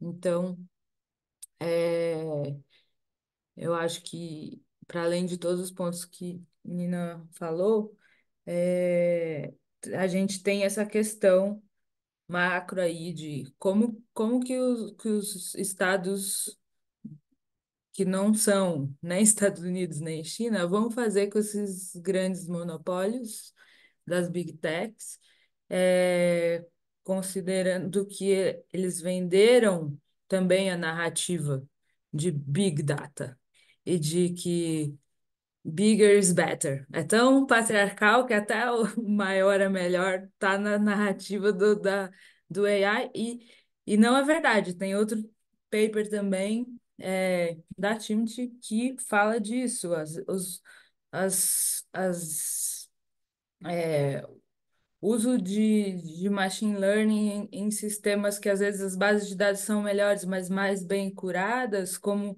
a Roberta estava falando, maior parte do trabalho dela é ficar ali mexendo nas bases e tal. Você não precisa ter um negócio enorme, você só precisa ter um negócio bom. E aí é outro custo ambiental para rodar. E, é, e, e se é bom e se é cuidadoso e tal, também são outros custos para direitos humanos, ou menos, né? Roberta, que vai precisar sair daqui a pouquinho, se quiser comentar também. É, eu queria só comentar a parte. Tá. Eu queria só comentar a partir de um ponto de vista, assim, é, isso que a Joana falou das big techs regular, é super importante, assim, mas pensando mais micro, e pegando no que a Nina falou também, de, de ter gente que está mexendo com isso, está com a mão na massa, é importante debater com essas pessoas para entender os caminhos que as empresas pegam também para sair da regulação que hoje são muito fáceis. É, então, por exemplo, você tem regulação para banco, para modelo de, de aprovação de crédito, por exemplo, existe alguma regulação, alguma auditoria nisso. Mas é muito simples você contratar uma consultoria ou pegar um terceirizado que vai fazer as coisas com outros métodos e que não vai passar pelo mesma, pela mesma auditoria, sabe? Ou, e eu estou dizendo isso porque eu já trabalhei em modelos assim, é, ou empresas que vão contratar também, mais uma vez, consultorias, ou enfim, ou vão ter um time interno ali de dados, que vão desenvolver modelos, porque você não tem por que não desenvolver, vão desenvolver modelos para tomar decisões e não vão tornar isso público. Você simplesmente vai tomar a decisão porque você tomou, porque você pode tomar, né? É, enfim, é, acho que era isso. Tem uma pergunta da Ana Morales. Ela disse o seguinte: se puderem, gostaria de saber o que acham do conceito Retrieval Augmented Generation para LLM, RAG, acham que de fato possibilita resultados mais confiáveis para conteúdo de texto gerado por IA? Sobre isso, como ficam os vieses? Depende do prompt ou vai além? Eu, eu acho que eu posso puxar essa fila, que é de LLM? É, bom, depende, mais uma vez, assim, é uma técnica, mais uma das técnicas que você pode utilizar. De fato, com essa técnica, você consegue ter um controle maior das saídas que o modelo vai gerar. Mas, mais uma vez, vai, vai depender de quem está desenvolvendo, de quais dados, porque no RAG é como se você, simplificando muito, você fala assim para o modelo, ó, oh, Sempre que você tiver que responder determinada pergunta, consulte essa base de documentos aqui que eu estou te dando e só responda de acordo com o que está nela. Inclusive, você pode dizer assim, cite a fonte, cite em que página desse documento está aquilo ali que, que você está retornando. Mas, mais uma vez, vai depender de que documento é esse ao qual você está se referenciando, é, como você tratou esse dado, como você treinou o modelo que vai acessar esse documento. Então, é, é similar a, ao, ao desenvolvimento e ao trabalho com os vieses em outros modelos também. É, eu ia complementando a Roberta sobre coesão do texto também, né? Porque, assim, é, o fato de você tentar usar isso para facilitar, Ana, é, produção de texto, produção de conteúdo, você perde muito, porque você vai, confia e você começa a, a como é que se fala? A colocar a responsabilidade no, no gerador em relação à coerência e à coesão do texto gerado. Então, assim, tem um potencial, né, da qualidade, do, do, a qualidade do texto que você está tá, tá recuperando, mas os modelos hoje ainda eles podem enfrentar desafios nessa produção coerente do texto, sabe? Na coesão global, na coesão global, na coesão do texto, de uma forma, de um como um todo. Mesmo que vocês revisem depois da recuperação feita, aí já entra num local é... de como você começa a desaprender a e a formatar textos, né, com as técnicas habituais e manuais e começa a colocar essa responsabilidade no, no algoritmo, no modelo, e aí você só fica com a responsabilidade de correção. Então, assim, eu acho que é algo a se pensar, sabe? De que na produção de conteúdo e produção desses textos, nós vamos acabar desenvolvendo mais a noção, o perfil de corrigir do que criar. Então, acho que tem, juntando com isso, porque a Roberta falou que tem muitos poréns, muitas variáveis, mas tem algo também do comportamento, sabe? É, que pode, que no nosso comportamento pode alterar com isso também. E da língua, né, Nina? Só complementando mais um pouquinho da língua, assim, se você fizer um negócio desse para inglês, ok, talvez você tenha um resultado super bom, mas para o português brasileiro já vai ser uma questão, é, enfim, para tantas outras línguas que, que não temos ali, ou que estão subrepresentadas, mal feitas mesmo, enfim.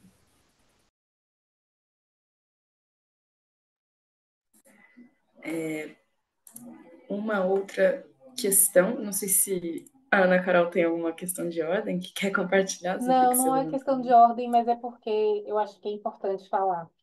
É, é uma complementação do que eu falei lá no início, mas eu acho que foi atravessada pelas falas da Joana, da Nina e da Roberta ao longo, que é a nossa preocupação nesse processo de desenvolvimento de uma ferramenta de IA para avaliar projetos de lei, considerando todas essas coisas sobre viés, limitações, as coisas que o computador vai errar. E é, um dos nossos pensamentos que é, passou muito pelo debate é: nossa, a gente tem um monte de ferramentas pagas e privadas para desenvolver um avaliador de projetos.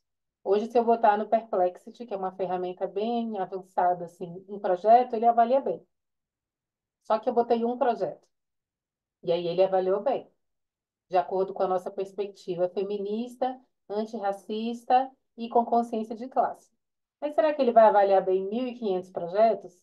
Então, é, a nossa crença, vou dizer esperança, talvez, da possibilidade de construir esse sonho é o fato de estarmos há cinco anos avaliando projetos manualmente por organizações externas às minas e depois revisados humanamente dentro, né?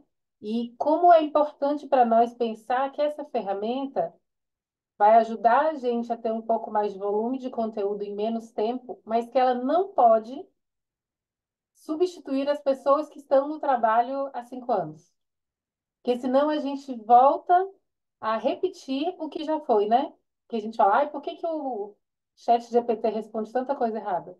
porque ele está baseado, errada ou machista, ou racista, ou classista, porque ele está baseado no que as pessoas estão falando no material que ele tem de base, né?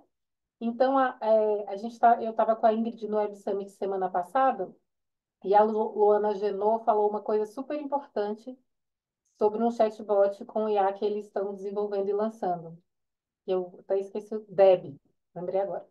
Que ela fala, a gente não acredita na falta de viés, porque a falta de viés é irrealizável. Mas essa IA vai ser educada com outro viés.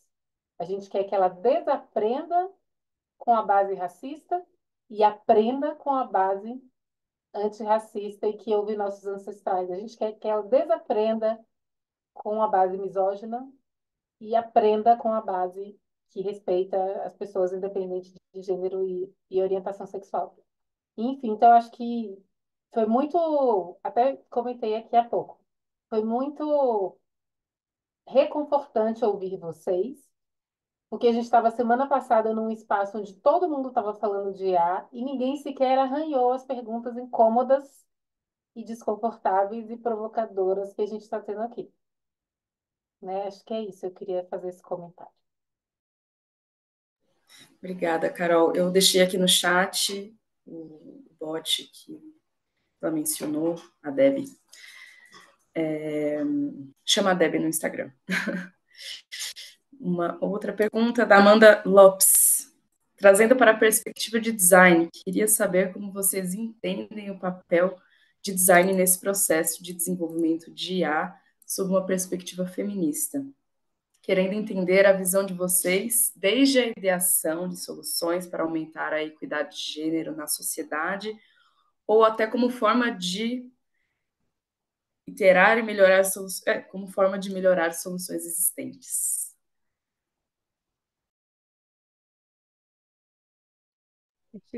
Eu, eu posso começar, Jana? E só para até para desse comentário que a Ana Carol fez, é, algumas, acho que algumas perguntas, até dessa questão dos vieses, né? Que é, cada tecnologia de IA tem um, um comportamento diferente que não vai depender só do viés. Então, por exemplo, rosto e é, rosto, o, os problemas de vieses de algoritmo de gênero não são só dos datasets, é rotação, é, a forma que o, o algoritmo entende o que é um rosto, o padrão daquele rosto. Então, tem algumas camadas que não são possíveis de, de aprofundar quando nós estamos falando de viés para um, um grande público ou quando a gente está escrevendo, porque falar do dataset já é um problema mais consolidado. Então, você começa a investigação pelo dataset. Então, é interessante isso que você falou dos vieses e do exemplo que a Luana trouxe, que algumas perguntas que eu fiz quando me mandaram esse, essa ideia é, foi por que um chatbot? Né? Quando a gente pensa assim, por que, que a gente está criando um chatbot? Por que, que o chatbot ele pode é, ter essa, essa idealização mais humana de conversa com, pessoa, com outras pessoas negras. Eu abri, eu, eu sei qual é o, qual é o objetivo fim do, do chatbot. E como que a gente lida com isso? Lida com o imaginário de pessoas negras, é, indígenas, quilombolas, querendo construir outras tecnologias, ao mesmo tempo para não reduzir tudo ao, à tecnologia, ao, ao tex, tecnossolus, tecnosolucionismo. Então, é um debate bom, assim, de fazer. Acho que pode ter um próximo painel sobre isso e chamar, e você chamou essa galera, porque é importante para a galera que está entrando não fazer essa redução e como que a gente trabalha em conjunto para fazer, de fato, uma ponte interessante de outras tecnologias, de te outras tecnologias com outras visões. E sobre a pergunta do design, eu não sou é, design, do designer, né? Mas eu acabo tendo que trabalhar com muitas pessoas do design, porque primeiro porque eu sou ruim, segundo porque eles estão sempre questionando as, as, as ferramentas que nós estamos desenvolvendo. E eu acho que um dos papéis mais importantes do design é ele conseguir se colocar no, no lugar né, é, do usuário. É uma dificuldade real para quem desenvolve tecnologia. E o designer ele consegue olhar e, e pensar assim: eu vou excluir o designer que pensa no lucro, tá? Na usabilidade por conta do lucro, onde que o cara vai clicar e etc. E vou colocar o designer que realmente tem um, um, um olhar mais humano.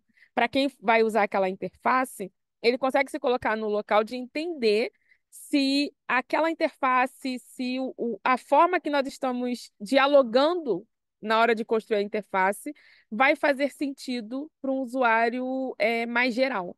Tá? Então, mesmo que eles trabalhem com essa ideia da generalização, que é bastante questionada, por um lado, ela nos ajuda realmente a pensar ferramentas mais acessíveis. Então, eu com começaria respondendo por esse, por esse lado mais acessível, porque passa batido esse viés também da acessibilidade, né? Nós falamos muito dos vieses que, que estão mais presentes é, no noticiário, porque isso é importante, estão mais presentes nas notícias e tudo mais, então impacta a gente. E esquecemos de alguns outros vieses que nós temos enquanto pessoas que estão tentando pensar uma narrativa diferente, mas que a gente acaba reproduzindo. Então, acho que tem esse papel com a acessibilidade muito forte, assim, quando falamos de IA.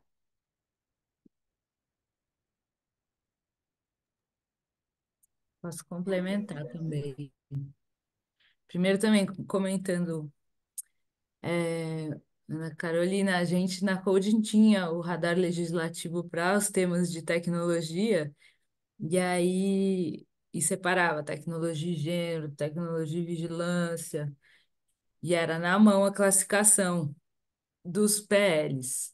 É, a ferramenta só puxava, né, da Câmara do Senado, e era na mão a gente classificar se achava mais ou menos ou não. E isso até entre a gente, a gente não era difícil classificar, então também imagino é, com a máquina, então, né, é, é, é inevitável. É, eu acho que é bom. A gente acabou, a gente parou de fazer porque virou como tecnologia começou a aparecer em um milhão de PLs e a gente é pequeno e tal, ficou inviável é, também fazer essa seleção, porque mesmo com a raspagem, você tem que ainda ver se é mesmo de tecnologia e depois classificar se é, se é um PL perigoso ou a gente só tinha um, um semáforo, verde, vermelho, amarelo. E mesmo só no semáforo já era, ih, não sei, bota tudo vermelho, então, então eu quero, né, pequeno, uma coisa pequena. Então, acho que é isso, é uma ferramenta. Teve um, uma, um, um painel que eu fiz, que eu esqueci a, o nome dela. Ela era colombiana e mostrou várias ferramentas que ela usava de, de, de ir para os ativismos, né? E ela falou: ah, eu vejo como. Eu uso como se fosse um, uma estagiária, um estagiário que ainda é, não sabe nada, mas está me ajudando com umas coisas, assim, e aí eu pre- preciso supervisionar. Acho que essa visão funciona, né? E sobre o tema do, do design, aí eu indico, né, o, a Sasha, que, que fez o Oráculo junto com a gente, é, trabalha, fez um livro, escreveu um livro que chama Justiça, Design Justice, Justiça no Desenho, e, e faz parte de uma rede chama Design Justice Network, eles têm uma série de princípios assim de design. E a carta do oráculo que é que é chamada Corpos e Terri Territórios, a azulzinha que eu mostrei, é isso, né? Você você traz para o processo de desenvolvimento de uma ferramenta, de uma tecnologia, do que seja, o seu corpo e seu território. Então, um dos princípios do Design Justice é, é Nothing for us without us. Nada para nós sem nós. Então, é, se você está fazendo uma ferramenta, sei lá, para mulheres, para uma ferramenta para lésbicas e tal, chama, chama sapatão e a gente tem que estar tá na mesa e vamos ver junto.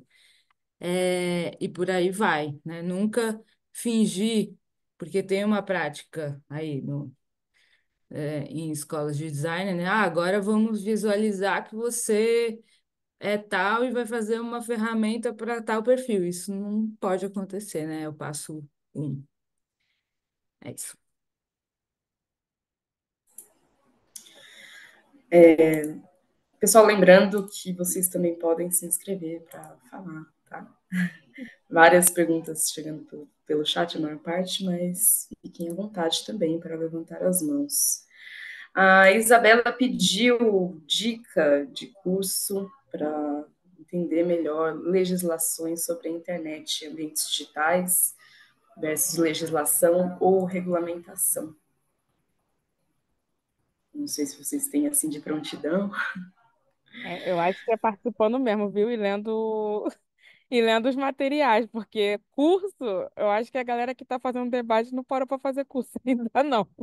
Para fazer um curso com esses materiais ainda não. Não sei, Joana. Eu indicar o, o os materiais, aquele da criptografia que vocês já fizeram para CryptoRave, eu acho, uma vez. Né? Os materiais da CryptoRave são bons, assim, nesse sentido. É, é, depende do que você quer, né, com curso e tal. É, e é isso, a, a, a Coalizão de Direitos na Rede tem muitas organizações, é, cada uma puxando aí é, debates em diferentes temas, olhando ali as pautas e as organizações, de repente, né, é comum a gente dar workshops e tal, então ali tanto tanto a Coding como o Lapin, outras organizações dão workshops, tem material é, para temas específicos, né, que vão desde regulação de plataformas, a proteção de dados, a vigilância, a desinformação, a violência de gênero perpassada por tecnologia. Eu acho que aí pensar aí que, que temas você quer e, e seguir as organizações, vira e mexe tem workshops, e aí vira e mexe uma das, das pessoas das organizações estão também na academia. Acho que é um mapeamento assim, um curso para entender de regulação, não sei. Cíntia, pode fazer o que tal, Cíntia? Olha lá a demanda. Ah, acha que eu já não estou anotando tudo aqui, Joana? Em breve contataremos. É, Cris, AMB, está com a mão levantada. Pode ficar à vontade, o microfone é. Oi, gente. Bom dia. Tá abrindo aqui. Dá para ver daí? Legal? É, Sim. bom dia. Eu me chamo Cris, sou é, da comunicação da Articulação de Mulheres Brasileiras, que é um movimento feminista e que está presente mais fortemente no norte e no nordeste, né, do Brasil. É, primeiro, agradecer as falas de Joana, é, Nina e é, Roberta, né, Roberta, né, é, porque abre muitas questões e uma quantidade de, de perguntas na nossa cabeça, assim, que é meio enlouquecedora. A gente lidar com mulheres reais o dia todo, a nossa luta pela vida das mulheres, é, e a quantidade de elementos que vocês trazem revela os riscos que a gente tem e que estão tão desatrelados dessa vida das nossas mulheres, né? A gente tem na articulação é, mulheres do norte espalhadas, enfim, por Roraima, pela Amazônia, mulheres indígenas, mulheres é, do campo, da floresta, ribeirinhas e quilombolas. É uma, é uma diversidade muito grande. E você vê um debate que é muito importante e muito descolado né, da vida real, digamos assim. É, eu fiquei pensando em duas coisas durante esse debate.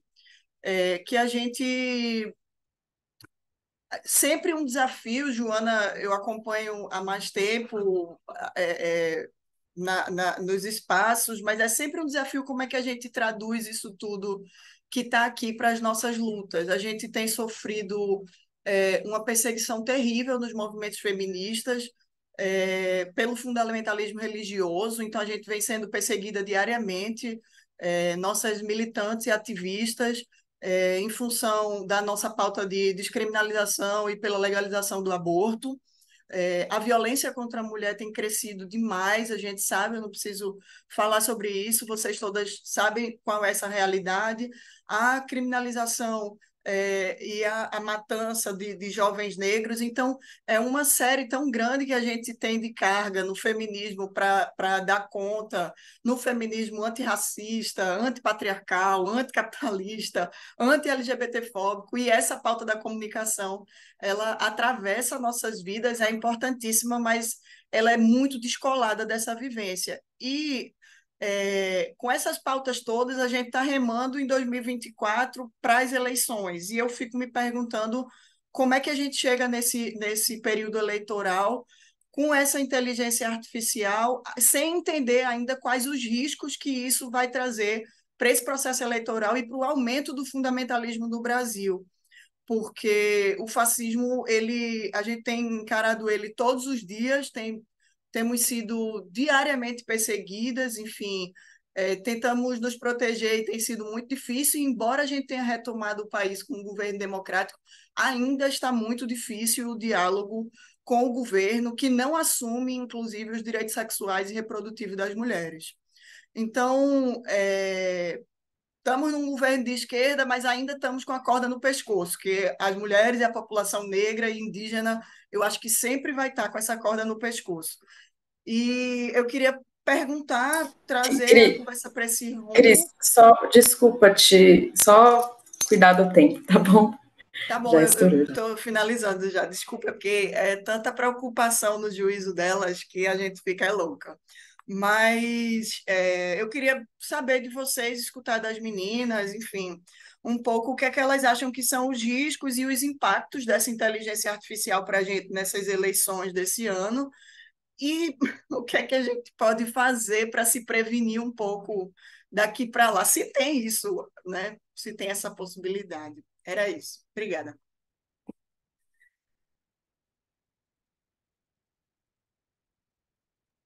A gente já responde? Pode ser. E aí, gente, a gente vai fechar com a pergunta do Marcos depois, tá? E depois partir para o encerramento. Então, podem comentar a pergunta da Cris. Depois, Marcos pergunta, a gente responde e fecha. É... Cris, obrigada pela pergunta e pelo desabafo de coisas que a gente não não tem como não tem controle de resolver, mas também não esquecemos durante o é, o dia a dia, né? Eu tenho uma visão um pouco pessimista porque alguns dados que você trouxe aí ao histórico da própria, de como a própria é, esquerda se posicionou em relação às tecnologias, e então agora nós temos um, nós estamos é, correndo atrás para dar conta é, de coisas que eu não vivenciei, por exemplo, né? Não sei as tomadas de decisões que foram feitas e nós estamos correndo atrás para dar conta disso no meio digital. Então, assim, formações, eu acho que é, tem muitas formações que acontecem, só que elas ainda não conseguem atingir todo mundo. Então, assim, de fato, tem muitas formações que, que, que são feitas no Sudeste, algumas formações que são feitas no Nordeste também, mas em pontos muito centrais. Então, essa, essa, esse descolamento da realidade, eu concordo com você, porque é, é, é muita gente fazendo formações nos mesmos lugares. Isso, essa é a verdade, e nem sempre as redes elas se acessam por motivos diversos, assim, eu acho que a gente tem um, um trabalho agora daqui para frente, eu acho que pós-pandemia, de que não vai dar para a gente ser amigo de todo mundo, mas nós vamos ter que ser um pouco mais estratégicos, assim como os outros lados são, em relação à disseminação do conteúdo e das oportunidades de proteção é, no meio digital. Então, acho que isso é um, a reflexão que você trouxe antes da pergunta, é uma reflexão que diariamente nós estamos fazendo dentro das nossas bolhas, e agora a gente vai ter que cruzar essas bolhas, e acho que já passou um pouco do tempo de fazer isso. Para as eleições, eu sou pessimista no sentido de que nós não temos é, um debate qualificado sobre os problemas reais das eleições, que não são só as deepfakes. Tá? Então, tá todo mundo focando em falar de deepfake e regulação. Gente, isso vai acontecer no âmbito mais central das, cap da, das capitais. Tá? Nós não estamos falando de, de de tecnologias que elas vão estar sendo aplicadas no, no, nas eleições dos vereadores, de deputados, é, é, vereador principalmente, tá? Deputado federal, até em, em âmbito do deputado federal, talvez seja colocado, e prefeitura também. Mas não tem como direcionar o debate de regulação, o debate das eleições pra, só para as deepfakes. E olha que eu trabalho com deepfake. Mas eu realmente considero urgente mas não para essas eleições de agora. Então, infelizmente, eu não tenho uma visão de que dê para mitigar muitos danos do que vai acontecer nas eleições de agora no âmbito digital. O que dá para fazer é a parte, forma... é a parte informacional. Tá? Então, nós sabemos que tem vários, vários locais é, que ainda tem voto de cabresto, que, enfim, tem diversas dinâmicas das eleições que só aqueles locais conhecem e que são feitos sem tecnologia. É, o informacional que eu digo seria ir para o âmbito das, do, das ferramentas mais usadas no dia a dia pelas pessoas que não estão na, na capital.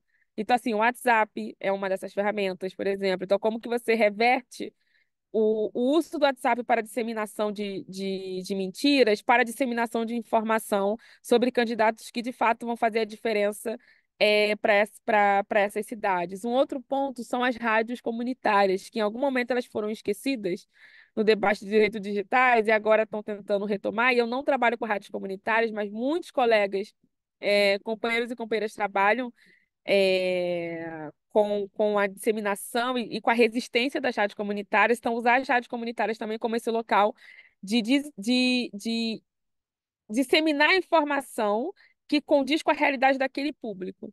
Sabe, Cris? Como eu, eu não não estou situada no norte, é muito difícil para mim dizer para você uma solução que, que funcione, porque, até porque a região norte é enorme. Mas dentro do que eu trabalho, do, dentro do que eu venho trabalhando mais no São Gabriel da Cachoeira, é, com o pessoal, com o povo Baniwa, as rádios comunitárias têm sido um diferencial, tem sido um diferencial o reverso do WhatsApp, tem sido um diferencial o, o, o os próprios é, é, o, o, as pessoas do próprio povo se encarregando de, assumir, eh, se, a, se encarregando de assumir a responsabilidade sobre o debate de acesso à internet e eles traçam a estratégia para poder as informações chegar é, na, na, do outro, na outra ponta de Rio Negro, e não a gente que está apoiando. Então, acho que isso também é um diferencial. A gente pode ajudar na formação, a gente pode ajudar em diversos é, diversas construções, mas é muito é, importante ter as pessoas que estão no território atuando é, também no debate de direitos digitais. Mas, infelizmente, eu sou pessimista, porque o debate das eleições está só em deepfake. E eu acho que é um grande erro a gente direcionar para o que está acontecendo só nas redes sociais. Perfeito. Marcos? Oi, gente. É, bom dia ainda, né? Quase boa tarde. Uh, bom, a minha, a minha pergunta é, assim, uma coisa que, que eu vejo que, que, que me causa um tanto, um certo incômodo, até a Roberta trouxe um pouco essa questão, né, de que é preciso propor, né, outras, outras abordagens e, e futuros que não seja simplesmente de uma forma reativa, né, assim, é, buscando às vezes é, remediações e regulações para para soluções da, das grandes plataformas. E eu acho que, que uma barreira que eu vejo é, é, a isso, né, além de todas as outras é, sociais, né, enfim, questões de, de estigmas aí relacionados também a, enfim, a machismo e etc.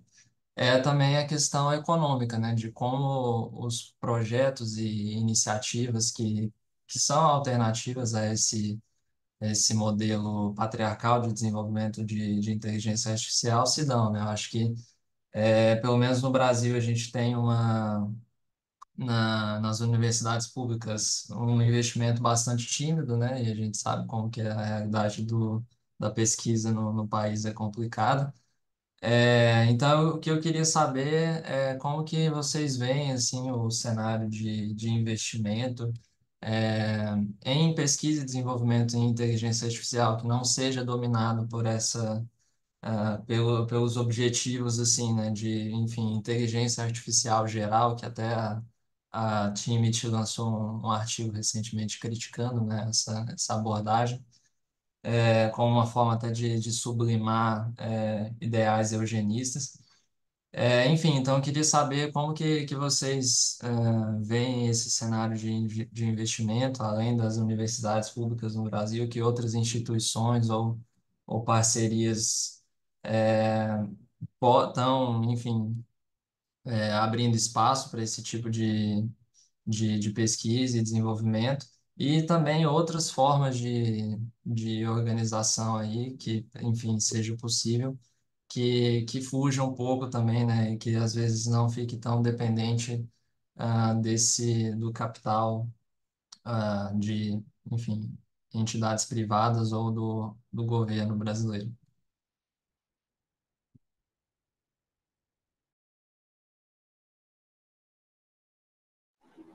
Nina, Joana. Falar rapidinho, mas acho que a Nina vai ter mais a complementar, tanto na área e na academia, mas tem é, eu não, não vou lembrar os dados aqui, mas tem estudos também mostrando como que as Big Techs estão investindo é, nas, nos cursos de computação, né? Então, das principais universidades, aí no contexto estadunidense também, eh, no, no, no Brasil não, não tenho esses dados, né? Mas isso também leva a uma formatação, né, de, é, de, de do que que você pesquisa, do que que você estuda, que é um- uma visão mais aplicada para a indústria, para a visão dessa indústria. Então, no Brasil a gente teve todo esse desmantelamento, né, da, da, também dos sistemas de apoio de pesquisa e desenvolvimento nos últimos anos, né, Ciências Sem Fronteiras e tudo mais. Então, eu acho que é estratégico, inclusive para soberania, para, né, temas assim, é, voltar é, a pensar em investir em sistema de pesquisa e desenvolvimento aqui para a gente poder ter um ecossistema é, alternativo ah, ao das Big Techs, né? O, o Virgílio Almeida, que está já, já foi secretário de Ciência e Tecnologia, é, e é professor, é, esqueci, é de Minas, não sei qual universidade, mas eles estão fazendo uma pesquisa justamente sobre os gargalos aí no Brasil, para a gente desenvolver mais é, a, a- o nosso setor, né, na academia e tal, e de, de, de pesquisa em IA, e é também um dos temas que o, aí já falando num nível mais institucional, institucionalzão e neoliberal, mas é um dos temas que o Brasil está puxando no G20, né, também, de, de co- como a gente monta aí esse é, sistema de pesquisa e desenvolvimento alternativo é, a esse monopólio aí do, do norte global, particularmente. Mas aí Nina vai ter mais experiências do campo de vivência, eu tô aqui falando minhas abobrinhas. Não, Jana, ótimo, porque eu já falei uma outra pergunta, eu vou só te complementar. É, ô Marcos, as- é, no momento nós estamos com os investimentos nas universidades públicas, mas não são todas, é a UFPE, a Unicamp, USP, é, é UFPE, Unicamp, USP e o FMG. Elas foram contempladas com o dinheiro da FAPESP para criar esses centros, né? Um deles, o Vigília, até é, dirige, né, que são esses centros de desenvolvimento de inteligência artificial no Brasil, de pesquisa aplicada, mas a partir da academia e, da, da- e principalmente das universidades públicas, vamos colocar assim. É, no terceiro setor, nós não temos essa, essa dinâmica, porque é uma dinâmica muito mais da crítica, né, do levantamento dos problemas, é, esse é o entendimento. E também porque não tem recursos computacionais possíveis no momento para poder você fazer esse desenvolvimento aplicado, né? Você pensar as tecnologias, a ciência e tecnologia aplicada e não pensar a pesquisa básica. E, e tem um problema nesses investimentos de que tem muito investimento agora acontecendo nesses lugares que eu falei, para pesquisa aplicada, mas nós temos pouco para pesquisa básica. Então, isso, isso também não é a solução, né? Porque você pode ter projetos open source, projetos como é, os, o, as ferramentas de modelos é, de LLM da, do Maritake AI, por exemplo, que é uma, uma startup que nasceu na Unicamp, Maritake AI. Não, e que eles, e que eles estão fazendo as ferramentas todas de produção de texto já em português. Estão treinando já com modelos na língua portuguesa, por exemplo. Eles estão no Brasil. É, e eles, e eles são doutores, né? Eles fizeram esse projeto no doutorado e aí trouxeram, estão levando agora para startup social. É, o problema disso é que, de novo, são pesquisas aplicadas. Então, acho que a gente tem que ter uma discussão aí sobre a pesquisa básica na área de inteligência artificial, porque aí, de fato, é o que vai fomentar dire- e direcionar políticas ma- públicas mais é, que fazem sentido, que não é só aplicar e construir a ferramenta. No nível do governo, de discussão, está todo mundo querendo avançar com a discussão de, de desenvolvimento de IA no Brasil. Então, nós tivemos aí as conferências, e aí é o que eu vou terminar indicando. Eu acho que, a, além de, de ver as políticas públicas que estão sendo desenhadas, tiveram as conferências nacionais de é, ciência e tecnologia, é, que rolaram em, em, regionalmente, elas rolaram de forma regional e também entre as universidades. Eu pude participar da que era de inteligência artificial na organização e também participei numa mesa que aconteceu tudo na UF, UFABC, mas teve no Pará, teve no Amazonas, é, teve, é, enfim, tiveram em vários estados e universidades diferentes essas conferências temáticas com o intuito de trazer a participação do público é, e colocar os acadêmicos para também se expor ali um pouco, né, sobre a apresentação dos projetos, mas responder as perguntas e tudo mais, sair desse, desse, dessa torre de marfim. Então, eu vou deixar um link que leva a todas as outras que têm o mesmo, a mesmo nome, conferência temática, e nessas conferências foram discutidas a infraestrutura e integração, e tiveram exemplos muito interessantes que não vale eu ficar aqui gastando tempo tentando reproduzi-las, que ouvir das fontes dessa ajuda você a conhecer mais pessoas que estão nesse debate também.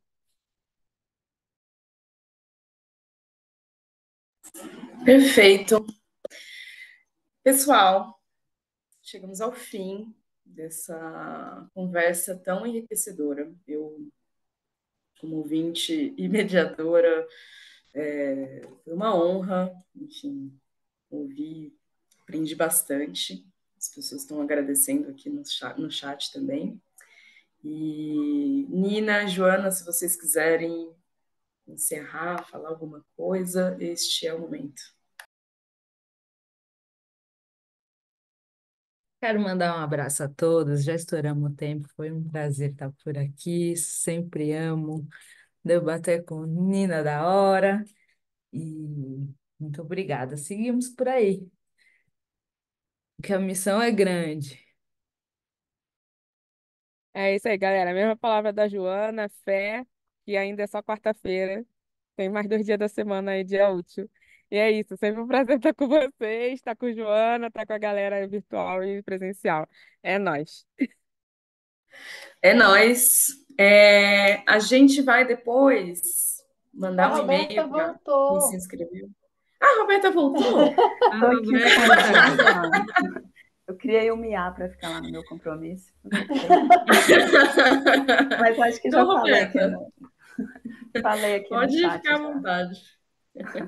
Não, já tinha é, falado no chat, foi ótimo, gente. Muito obrigada. E sigamos aí na luta, que é grande mesmo, né, Joana? prazer te conhecer. É, nós vamos enviar um e-mail para quem se inscreveu, tá? Com esses vários links que apareceram aqui. A gente, é, Mari, ao longo da conversa, foi atuando na sistematização e, e também uma pesquisa de feedback sobre esse workshop. É, a Carol mandou aqui no chat. Carol, se você puder mandar novamente, por gentileza. É, porque é importante para a gente entender o que vocês acharam, né? Enfim, a gente é, o propósito disso é não só ouvir atentamente é, essas pesquisadoras, mas também é, aproximar né, as minas, a gente se aproximar de pessoas que estão interessadas nesse tema, sobretudo porque estamos, enfim, processo de começando o processo de desenvolvimento de uma ferramenta também que a gente quer que seja útil para todo mundo. Então, é importante ter esse retorno. Eu espero que vocês tenham gostado. Não sei se Carol quer falar alguma coisa para fechar, mas eu agradeço muitíssimo a presença de todo mundo que até agora está aqui. vou agradecer também e vou pedir para quem está com ainda 50% de carisma, porque é quarta-feira, e puder abrir a câmera para a gente fazer um print, para se lembrar desse momento de um ecossistema de mulheres pensando tecnologia. E isso é muito revolucionário, gente. Com todos os, os BOs, como as três nossas conversantes falaram, é, a gente poder estar aqui e falar sobre isso, intervir sobre essas realidades é muito revolucionário. Eu até anotei a aspa da Roberta. a gente precisa vender um sonho, porque tem gente vendendo e tem gente comprando. Então, nada, nada que seja o nosso, né? Já que vai ter que seja o nosso. É, vou fazer um, dois, três, e aí vou tirar o print, tá bom? Deixa eu só fechar aqui o chat para não ficar na frente da última pessoa. Um, dois, três. Prontito. Muito obrigada. Muito obrigada, gente. Esteja em contato com a gente, Yasmina, pelas redes, pelo site. Beijo, bom resto de semana, gente. Valeu, galera. Tchau, tchau. Tchau, tchau. Valeu. Gente, tchau.